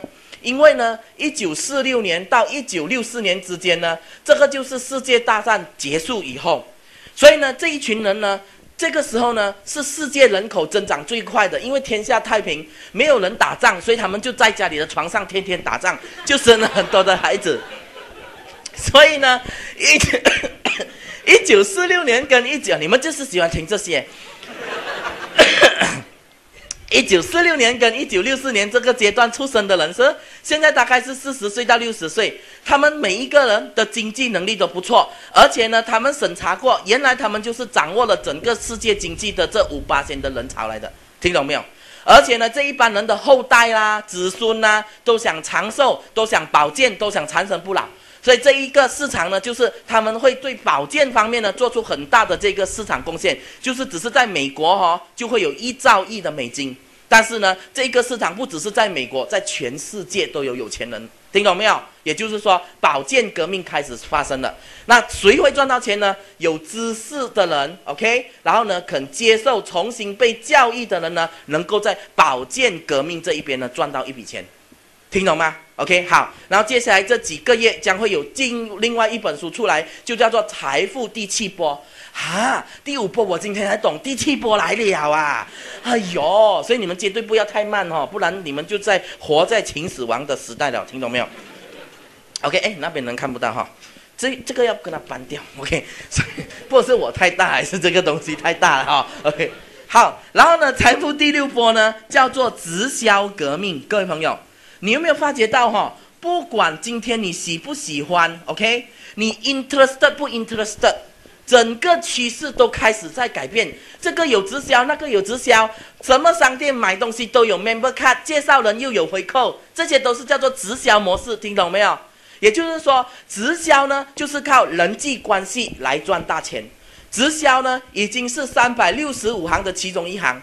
直销能够解决政府解决不到的问题，所以为什么中国直销出台立法？为什么越南都直条出台立法？因为他知道五十五岁以后这些人没生产，第一，他们要再去上班，没有人肯请他们，他们可以干直销。第一，这个问题解决；第二，很多的家庭主妇在家没有生产，只等老公养，对不对？所以呢，这一个又可以解决。然后呢，第三，学历不高的又可以在直销里面转型成功。所以各位朋友，所以直销它就是能够帮助很多的穷人变富人，明白没有？很多人哎，我 I'm not interested，继续继续，你可以言有继续，因为你因为因为你喜欢，听懂没有？因为这是趋势来的，你不要改变，改天你走出去，全部人都有 M M M 干，你没有啊？你没有啊？听到没有？OK，好，然后呢，第七波已经来了，就是。直销加电子商务，各位朋友你有没有发觉到现在什么挖锅？也不是什么挖锅，什么东西都上网卖，叫做电子商务 （e-commerce），听到没有？你买一个有可能是啊很贵，但是他又跟你讲，如果你买十个，介绍十个朋友买，他又可以扣一点，还是复利两个给你。这个就是直销加电子商务的概念来的，听懂没有？所以。几乎现在的 Generation Y，对不对？谁是 Generation Y 的？举手，Gen Y 的，OK？你们有没有发觉到，你们一天里面最少的三分之一时间都有上到网的？你们这个网站啦、Twitter 啦、Facebook 啦、谷歌啦，这些都是 social media 来的。所以呢，在接下来的十年、二十年，都是这群人在市场里面活动，而且呢，他们的整个理念呢，就是在网上购物，听懂没有？所以呢，财富第七波呢，要转型成功呢，是靠什么呢？靠观念，听懂没有？你的观念接受的快，观念转的快，你就可以赚到财富第七波的钱。而且呢，你知道财富第七波这个电子商务呢，根本就是一百八千的。你在美国哈，很多的日常消费品超过八十以上都是在网上购物的，买到了。美国的商店没有像马来西亚开这么长时间的，他们美国啦、Europe 啦，因为他们知道环保，而且呢，汽油是越来越少，听懂没有？他们为了要节能减碳，他们的商店 restrict 它最早开到六点而已，听懂没有？所以呢，在晚上的夜市你看不到有商店开的，所以呢，有大部分的日常用品呢必须要上网买，然后呢，还有另外一个原因呢，是在发展中的国家。而且每一个人最需要兼两份差才能够维持生活，所以他们是没有时间像我们这边的人哈，慢慢在那边走，慢慢走，没有的，他们就是会浪费这种时间的。他们要买东西有腻，他上网买；有腻，他上网买。你知道沃尔玛吗？沃尔玛在美国是有的上网买东西的，你们知道没有？OK，所以这就是一个趋势来的。如果今天你发觉到马来西亚会有一天会不会变成这样？石油会越来越多还是越来越少？那如果今天你今天就听懂的话，改天石油少的时候呢，已经有一个很大的网络，他们全部上网买就跟你有关系了。但是偏偏呢，这个 p o s i t i v e 就讲咯，这个财富第五波、第六波跟第七波，不是每一个人都能够参与的。第一，可以参与的叫做投资者，只要这个投资者他投资的项目，他跟保健、直销或者是电子商务有关系，他就赚大钱。听懂没有？第二，生产商。只要你是搞生产的，OK，然后呢，你所生产的产品跟保健、跟直销，然后再上网买卖有关系的，你也能够赚到钱。所以最近你有没有发觉到啊？连 Nescoffee 都要加高纤维他命 C，有没有？他知道如果哈他没有加下去，他很快会被淘汰。为什么呢？保健革命的来临了，听懂没有？然后接下来你看到很多的宣布里面加金钩啦，加人参精华啦，这就是保健呐。听懂没有？OK，然后呢？啊，阿里东干啊，东嘎果皮啊，有没有？OK，接下来如果你可以生产，你可以生产阿里东干沙本，听懂没有？洗了会紧的。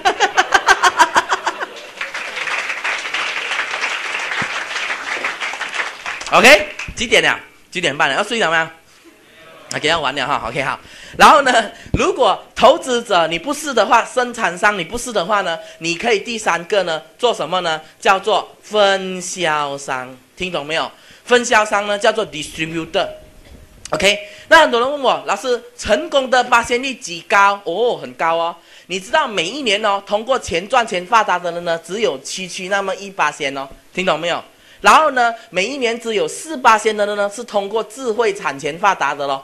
什么叫做智慧产权呢？就是发明啦、唱歌啦、演戏啦，这些叫做智慧产权，听懂没有？然后呢，每一年呢，有三十三八仙的人呢，是透过分销或者是代理呢，成为百万富翁。也就是说，分销跟代理呢，是最大最多人群成功的其中一个项目来的。那还有其他的呢，就是祖先留下来的啦，还有的呢是搞生产的啦，还有的是搞资投资的，那些都跟你没有关系的，听懂没有？OK，如果祖先有留下，你就不会坐这里的，听懂吗？OK，我只讲一些你比较有可能的。OK，明白没有？OK，所以那你觉得 MA 是不是符合财富第五波、第六波、第七波？MA 公司的营养补助品呢是七十五年最久的，听懂没有？一百八千 Organic 的，MA 是全世界最大的直销公司，零负债，三百八十亿，Billgate 亿元。在未来的二十年，我们将会变成八百亿，听懂没有？你试想想，那中间的市场还有多少？然后呢，接下来呢，电子商务跟直销。一九九八年，我们 MV 已经开始跟 Microsoft、IBM 合作做电子商务。去年 MV 们那些在同行注入四千万的几个基金，在做我们的 M V Do You Dot Com。各位朋友，你觉得你是不是掌握趋势？是不是？给自己一个掌声。OK。所以呢，参加什么系统呢？就是要参加跟财富第五波、第六波跟 T G 波有其有关系的系统，听懂没有？OK，好。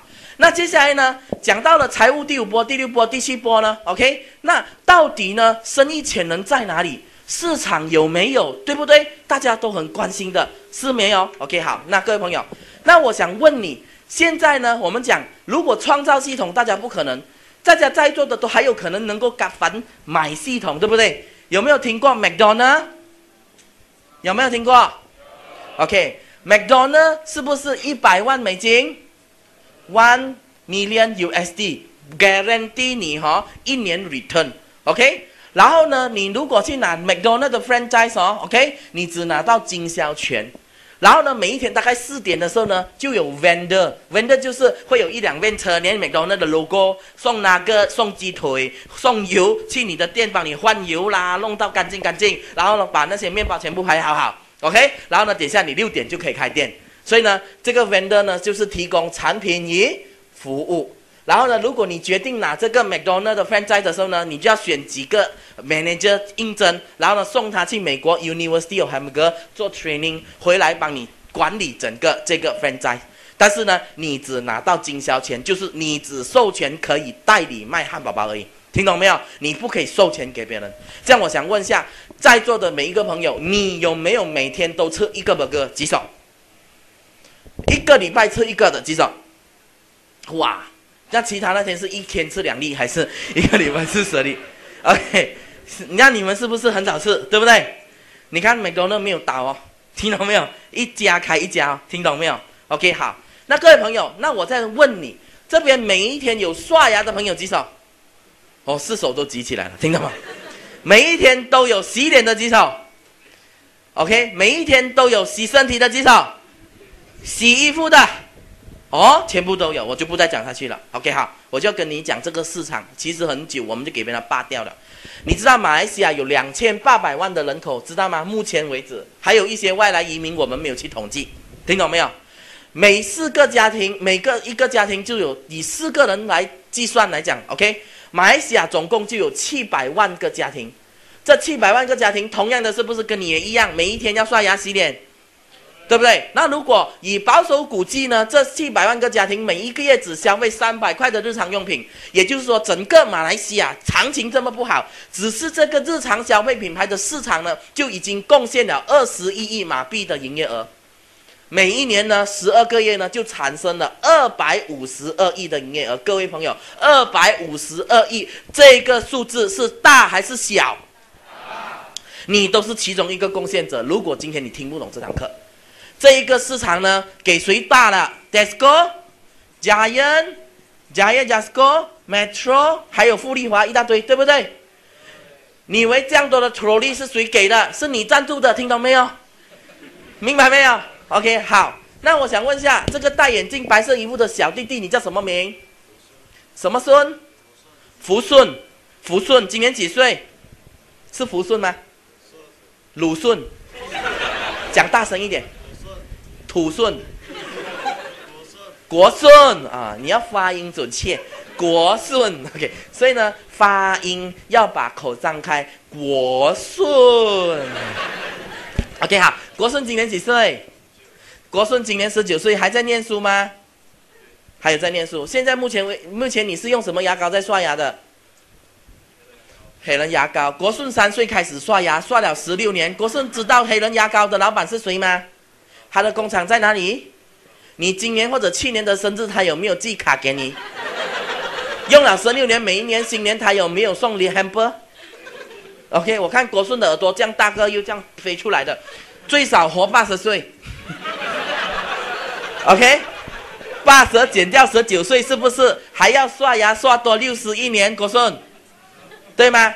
而且呢，我只是讲刷牙，不小心跌在地上那个没有算呢，听到没有？现在的那个牙膏的洞都是很大个，对不对？现 我碰到，对不对？就是要给你快点玩吗？还有洗脸霜嘞，洗头水嘞，洗衣服的嘞，这就叫做家里的黄金了。这一块市场，我们每一天都是怎么样呢？很开心、很快乐的，双手这样子送给这些人，帮助他发达，看到吗？很多人听不懂我讲话，各位朋友。今天，如果你明白两个，你只做两个动作，改变购物习惯，改变产牌，改变观念，改变话题，你未来的五年跟十年，你要穷都没有机会。好，各位朋友，今天如果你知道这市场很大，你成为注册一个叫做 IBO（Independent Business Owner）。很多人讲，耶，outdate 了了，M V，你拿石头丢三个，两个是 M V，跌龙哥那个也是，你才 outdate 啊！现在是不是流行 iPad，iPhone，还有什么 iPod，对不对？还有一个叫 I B O，是啊。IBO 代表什么？电子商务独立商人拥有者，Independent Business Owner。你有 iPad，有 iPhone，有 iPod，哎，iPod，OK，有这样多 i，but 你这个都是在消费的，对不对？但是唯一只有一个 IBO 在帮你赚钱的。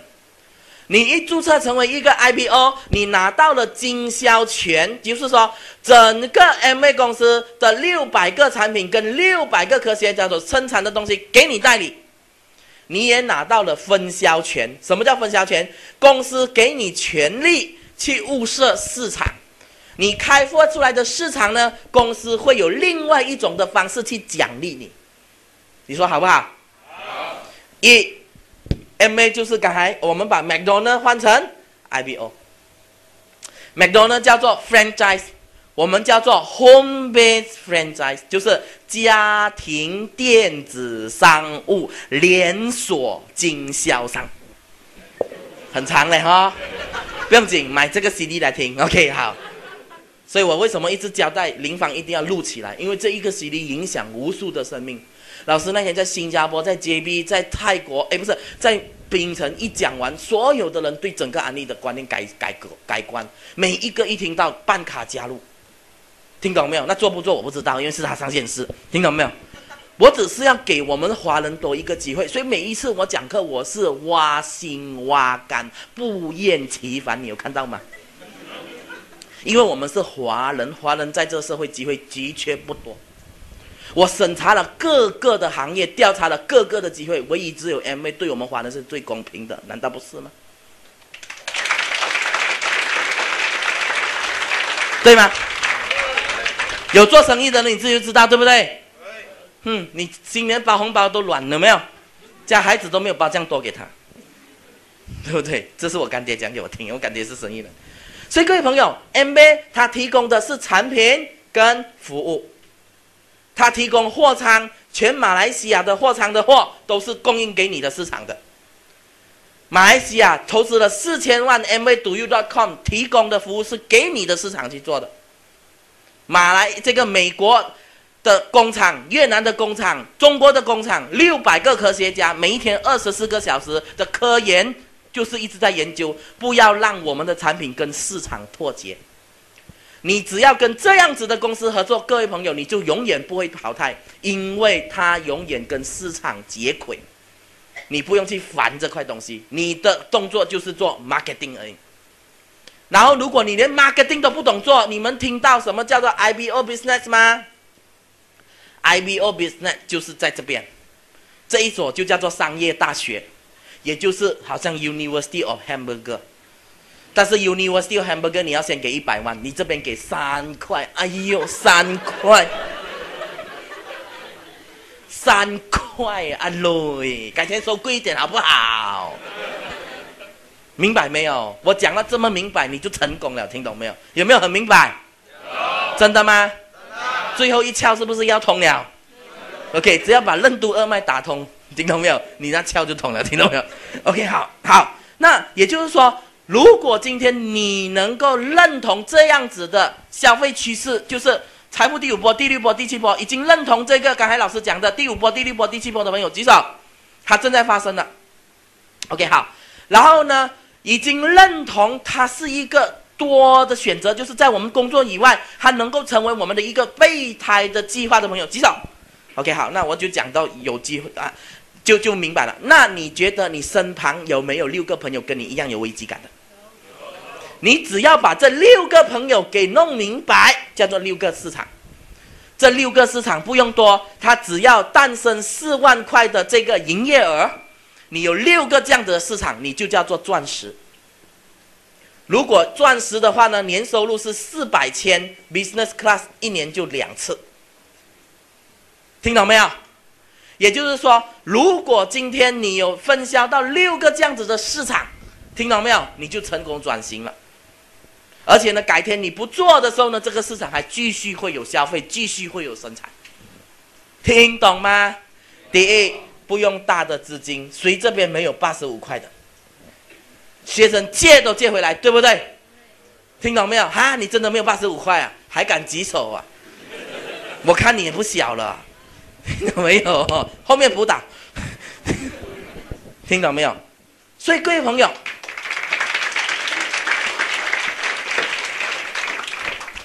今天你是想讲八十五块的这个压底金是什么呢？一百八千满意保证，听到没有？OK，还有第二，不用地点，你只要去到哪里，你就能够开档，所以它是人与人的市场，你看到人你就能够兴奋，只要找六个，OK，然后呢，他不用员工，听懂没有？所以没有员工的烦恼，你不用给员工气死。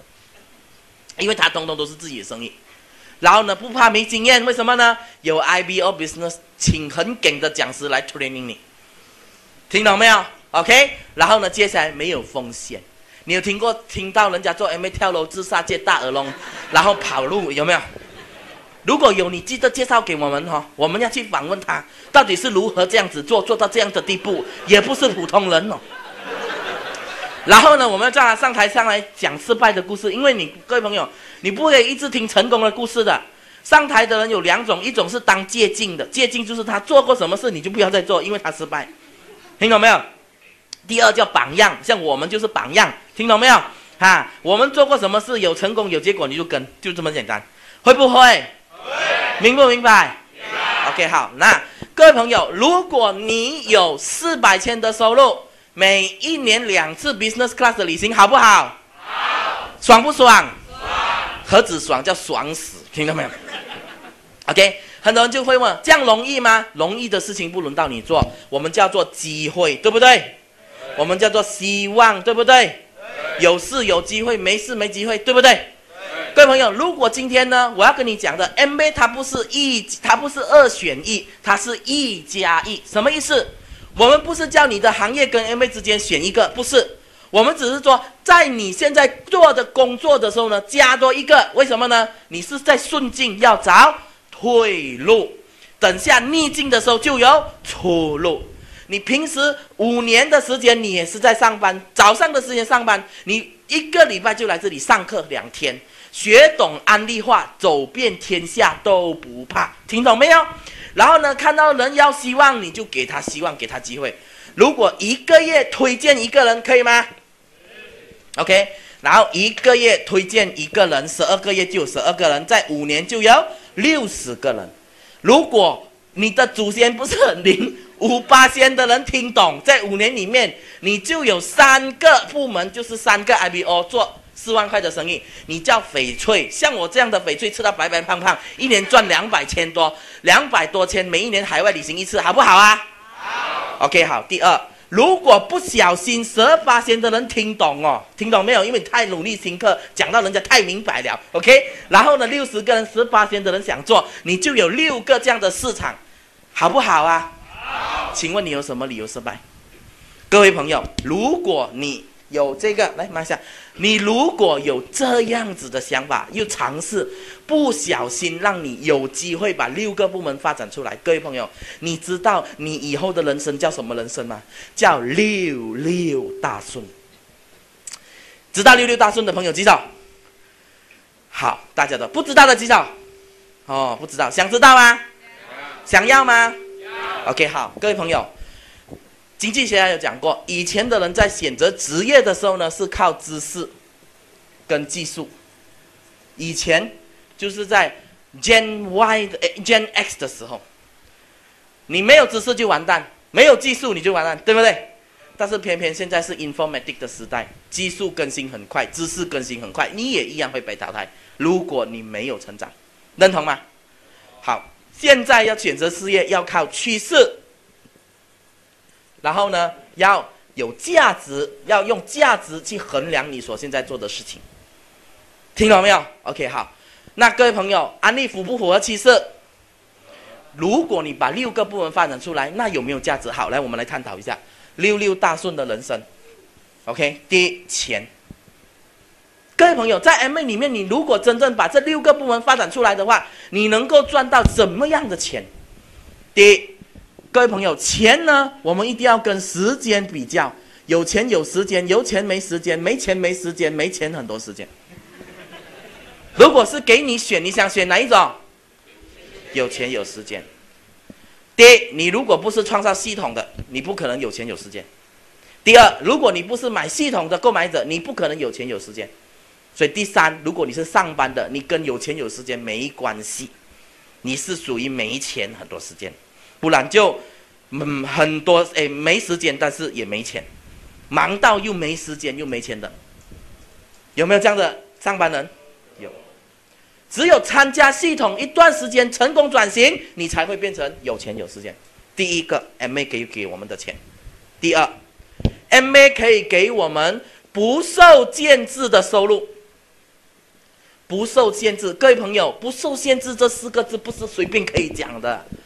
如果今天你在你的行业、你的领域，或者是你的生意赚到十千块，有可能已经是顶了啊。但是在 MA 里面，如果你赚十千块，有可能才开始啊。听懂没有？加上我，我赚了两百千几年了，每一年两百、两百来这样赚，赚到险了。我讲两百千好像不是够用了，在 KL 要买大房子就要赚四百千，我不受限制，我自己决定。你加你的公司加薪水谁决定？你的生意要增加收入谁决定？市场。听懂没有？经济风暴，对不对？但是在 MA，生意好，行情好，就很多人买多一点；行情不好，就很多人进来做，所以你生意是不会受限制的。因为我们是建立人，你要从这个角度去明白。安利已经五十年了，各位朋友，经济风暴对他来说，切，他讲，听懂吗？所以经验呐，明白没有？所以不是或半是苦，不是人一世苦啊！很多人做一半还怀疑啊，你就惨了。我跟你说，所以各位朋友，安利不受限制的，你赚了四百千不够，你可以定六百千的收入。现在最高的 FA 七十点八点七六米连，点下方的考试要回来了，他们一定增加，因为听说去年我们的成晚分做到九十点，MA 的 plan 只有七十点，听懂吗？各位朋友，不受限制，没有第二个行业敢讲。第三，不断成长。什么叫不断成长？各位朋友，你知道哦，你们懂 plan 的哦。OK，如果你退休的时候你有六个滴滴，你把你的生意传给你的孩子，五年、十年以后，这六个滴滴在系统的培养底下，它变成六个钻石，你就不是钻石了，知道吗？听懂没有？一个钻石三分，六个钻石就 FAA 十八分。你马上从一个年诶一年四百千的收入，成长到一年一点五 million。Business class 两次，马上 upgrade 成为 First class 四次。各位朋友，为什么我跟我朋友讲没有机会穷了？因为我现在有九个部门设定目标，二零一五要做钻石，我就是皇冠大师。各位朋友，四个部门明年会脱离做翡翠，为什么？因为我们要干就快快进来再干一次，因为危机就是转机，我就是等到经济风暴才出来摆的。为什么？因为这个时候是最多人才给我们的时候，这个时候是最好的时机，你不要再等，明白吗？你再等，你要等多十年，经济风暴才来，你慢十年，你几岁？听懂没有？已经闻到棺材响。听到没有？OK，好。那 MV 还可以什么钱？不断成长，还有可以赚到第四个不在职跟不在世收入。各位朋友，不在职啊！各位朋友，不在职，谁有不在职收入？皇族、歌星、作者、发明家，听懂没有？你是想象你三天不去公司，三个月不去公司，看你还有吗？对不对？还有第二，就算你有不在职收入，你没有不在世收入。什么叫不在世？做了传给孩子的。今天如果一个医生他有一间很大间的医院，他在的时候他可以赚很多钱，他的那个医生牌他死他不可以传给他的孩子，对不对？他有不在职，但是没有不在世收入。M A 有没有？所以 M A 这个钱要不要赚？第二个 M A 的第二个叫做健康。各位朋友，M A 的健康，我以三个角度来跟你讲。第一，心理健康，你不觉得外面很多人心理变态？我看你样子，我知道有的人是你有点怪怪的，变变。从眼神都可以看到的嘛。一个人心理要健康，一定要在健康的环境成长，心理才会健康的。听懂没有？第二，思想健康，思想健康对一个人来讲是多么重要，你知道吗？但是思想健康要靠环境、靠老师、靠提醒、靠书本，对不对？靠你接近的朋友，M A 积不积极？是啊。第三，身体的健康，你每天在听营养早餐，你怎么样？你都懂得什么叫做保健？你知道高血压怎么怎么调理？你知道便秘怎么调理？对不对？所以各位朋友，在 M A 你可以赚到这三个健康。接下来，第三个家庭，各位朋友，很多人很多钱。很多的房子，但是没有家。为什么没有家？因为没有教育，没有文化。各位朋友，我们安利有没有教育？我们第一开始从家开始教育起。家里有谁？家里有父母亲，家里有太太、孩子，家里有兄弟姐妹，家里有自己。你能够透过安利给父母亲最好的礼物是荣耀，给太太最好的礼物是保障。给孩子最好的礼物是榜样，给兄弟姐妹最好的礼物是机会，给自己最好的礼物是成就，给朋友最好的礼物是希望。透过安利，你能够把家变大，把地球变小。以前我们没有安利，我们哪里有这些？我们没有上大学，因为没钱。我姐跟小妹就是因为我们改变了做安利，他们才有钱上大学。今天我们上两个礼拜才在银顶办一场大会，我姐是主讲嘉宾，我是导师，我的小妹是带动的，我爸爸妈妈坐在底下，快乐啊，那种表情，那种骄傲啊。然后每一个学员都去跟我爸爸妈妈谢谢你们，因为有你们，你们才把老师生下来，你才把你的孩子栽培的这么好，让我们有机会跟他一起学习。谢谢你，谢谢你，安迪，谢谢你，谢谢安哥，每一个都跟我爸爸妈妈影像。我爸爸妈妈讲到现在还没有完呢。各位朋友，想不想给你父母亲荣耀？第二，你的太太跟你这么久，你有没有给她保障？很重要。你三餐还不能够温饱，你给她那种不快乐的生活。各位朋友，男人呐，你要懂得争气。接下来，孩子，孩子影响最大最大的就是妈妈跟爸爸，爸爸是最影响的，整个家里的 leadership 就是爸爸的影响。很多的父母亲没有做榜样，把孩子培养成为，孩子是国家未来的栋梁，对不对？但是很多的爸爸妈妈把孩子培养成栋梁，因为没有榜样，天天鞭策孩子，自己又不努力，OK？然后呢，给兄弟姐妹最好的礼物是机会。你看到多少传统生意，兄弟姐妹一夜变仇人，砍来砍去，对吗？但是通过这个生意，我们能够给他机会，成就自己，也能够成就大家。明白吗？就好像我兄弟姐妹全部都干安利的，我姐跟姐夫是 GM 来的，他们都干安利。你看他们，所以各位朋友，你看多快乐啊！我们全家天天在谈安利，OK。然后呢，给自己什么成就？我觉得我三十岁哦，啊，我三十点多了，三十多点了哈。我觉得走到哪里都被人爱戴，被人需要，被人尊敬，我觉得我很有成就。你觉得呢？如果今天只不改变，十年前我是车衣服，我上来讲车衣服大会，你要来听吗？对吗？然后最近我到处去演讲，还有很多老师就开始打电话来，哎，你等下去演讲，S N 顺便去讲课，我们包红包给你。各位朋友，你是想想，你有没有看过哪一些老师，你能够去到哪一边玩，然后随便去找一间课室走进去讲课的？你说的。但是 M A 可以，对不对？所以各位朋友，真的给自己最好的礼物是成就，被尊敬，被爱戴。被需要，真的就是成就来的，OK。然后呢，我的朋友只要见到我，都很喜欢听我讲话。为什么？希望嘛，听到我讲话就充满力量。各位朋友，今天你听我讲话有没有充满力量？有。没有充满希望？如果听我讲话都不会感觉的人，你已经是末期了，差不多了。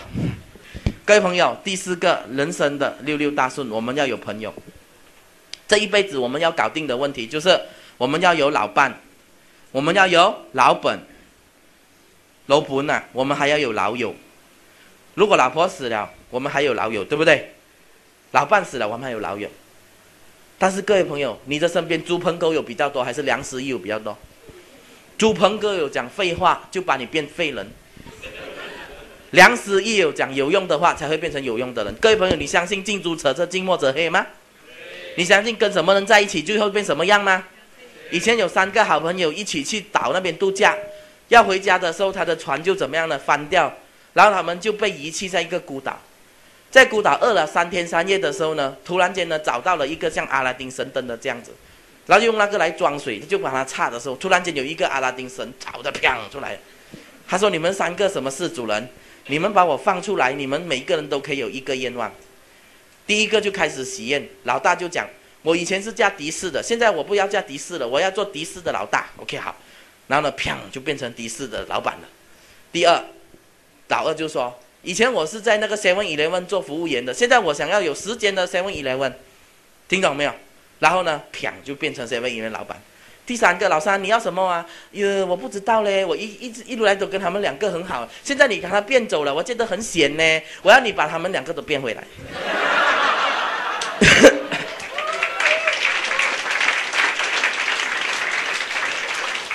最后那两个倒霉鬼又。这个故事就是给你知道，你跟什么朋友在一起，你就变什么样，对不对？所以能指引正路的朋友叫良师，能够同行正道的朋友叫益友。所以良师益友，朋友何止能够让你成就一生，也能够让你血染一生。听懂没有？你自己选择。第四，哎，第五，成长。各位朋友，在安利这个环境，我们没有嫌弃你。当你不会、不可以的时候，我们要你。慢慢培养你，让你成长，让你收入成长，思想成长，听懂没有？当你丰富了自己，你还可以丰富别人。当你达到你要的，你还可以再成就，对吗？在这个环境，你能够找到终身学习的榜样，终身成长的环境，终身奋斗的目标，你可以一直成长。但是在外面，你能够找到这样子的吗？你不会的时候，谁决定？别人要不要你，他决定；能不能你决定？但是在这边，要不要你决定，能不能我们决定？听懂吗？所以各位朋友，最后一个旅行。如果你做了钻石、翡翠以上，每一年一个钻石，一年两次，就好像这个我们的国顺，十九岁，我看他听到哇，很认真哦。五年过后，就是二十四岁，国顺大学毕业的时候，他做成一个钻石。开始就旅行，活到八十岁，哎呀，一年两个 trip 就是五十六乘以二，一百一十二个国家，每一个 trip 最少三十千年，没有花在你身上。有没有没有去布拉邦哥啊、兰高伊这些地方？有没有去的全部游乐国家？你算一下，只是旅行有没有欠你几百万？有去过外面自己旅行的朋友，你就知道，叫赶鸡赶鸭团，五天四夜，三国两地游。听懂没有？那天我还听一个嘉宾去我们中心分享，更好笑。他讲：“天哪，M A 的这个旅行跟外面的旅行天壤之别。他们去那个中国，然后最后呢，因为那个那个团团长是喜欢打气功，五点半全部叫他们起来打散功。他讲，气死他！从此那次都不要再跟团去国了。讲，各位朋友，这叫六六大顺人生，你要吗？难道你听了没有一点心动吗？”人生最难的不是努力跟奋斗，是抉择。只要你选对，各位朋友，你就去克服难，不要给难克服。刚才那个大哥八十五块没有，放心，你去借去 loan，ZIBB 八十五块，听懂没有？很快你卖两个产品就赚回来了，听懂没有？在中国，我去讲课的时候，我听到一个这样的故事，你们要不要听？要。一个乡村的姑村姑。你知道中国是重男轻女的，他们只能够生一胎的。第一个她是大女儿，哪里知道哈？好不幸的，她的弟弟出世小她几年，然后呢，爸爸就不是很疼她。在十四岁的时候呢，没有给她什么教育，就跟她说：“女儿是赔钱货，你就出去跟我赚钱养弟弟。”就这样子一送，就把她送去一个家做保姆，就是做那些好像 baby sitter 这样子，一个月三百五十块的人民币每一个月，就这样子，没有目标，没有梦想，没有希望，没有人关心，没有人关怀。活了四年，哎，活了六年到二十岁。二十岁的那一天，他的老板就带他出去菜市场买菜，不小心就撞见一个钻石。你知道钻石到处撞见线的，对不对？这钻石一撞到他，就看到他的手皱皱。他说：“宝贝，你的手干嘛这么皱皱？你到底今年几岁？”那个女孩子跟他说：“我今年二十岁。”天哪，宝贝，你需要懂得什么叫做女人三娘啊！今晚我们有一个美容沙龙，你来听好不好？这个女生呢，从来没有人这样子重视过她跟关心她，她心动，她感动，她跟老板说：“今年能不能让我放假去听课？”老板答应她，让她去听课。在走去会场的时候呢，在门口需要交两块钱的人民币，她竟然没钱，她只站在窗口。七年过去了，这个女人二十七岁，今天是中国的执行钻石。在做到钻石第一年的奖金，她把它换成现金，用麻包袋。叫人家抬回去东北，从村头走到村尾，给他爸爸讲：“女儿不是赔钱货。”他的一段演讲激励了很多人。他说：“第一个我要感谢的是我自己，在我非常低落、没有人爱戴、没有人疼我的时候，我每一天都跟上天祈求。”因为我没有放弃过我自己，所以今天上天安排了各个的机会来协助我成功。所以各位朋友，请给我一个掌声。他说：“所以各位朋友，那段演讲我看到，我是在流眼泪在底下，我真的太感动了。我说一个这没没有条件的人，因为他遇到了一个人，选对了一个环境，再加上一个机会，他今天改变了。但是在我们身边有多少的朋友，他的思想残障，肢体没残障的？各位朋友，各位朋友，人可以很将就，也可以很讲究。你可以选择平凡，你也可以选择贫穷，你也可以选择不平凡。它是一个选择。生于贫穷不能怪父母，但是死于贫穷我们要怪自己。在十二岁，我们家里经历一场很不愉快的事情的时候呢，我跟我自己发誓，我不要让我的下一代再穷，我要让我的父母亲过上好日子。好死不死，二十三岁的那一年给老板骂妥，所以他就给我最后一条给骂通。今天各位朋友，我希望通过这一场的演讲，这一场的分享。重新让你发现你自己，不要放弃自己，好不好？好。明天老师还有更精彩的演讲也准备好了，要不要听？明天你听完过后，你就会跟着大彻大悟，原来案例就如此简单，要不要来？所以各位朋友，那今天我的分享就到这里，谢谢大家。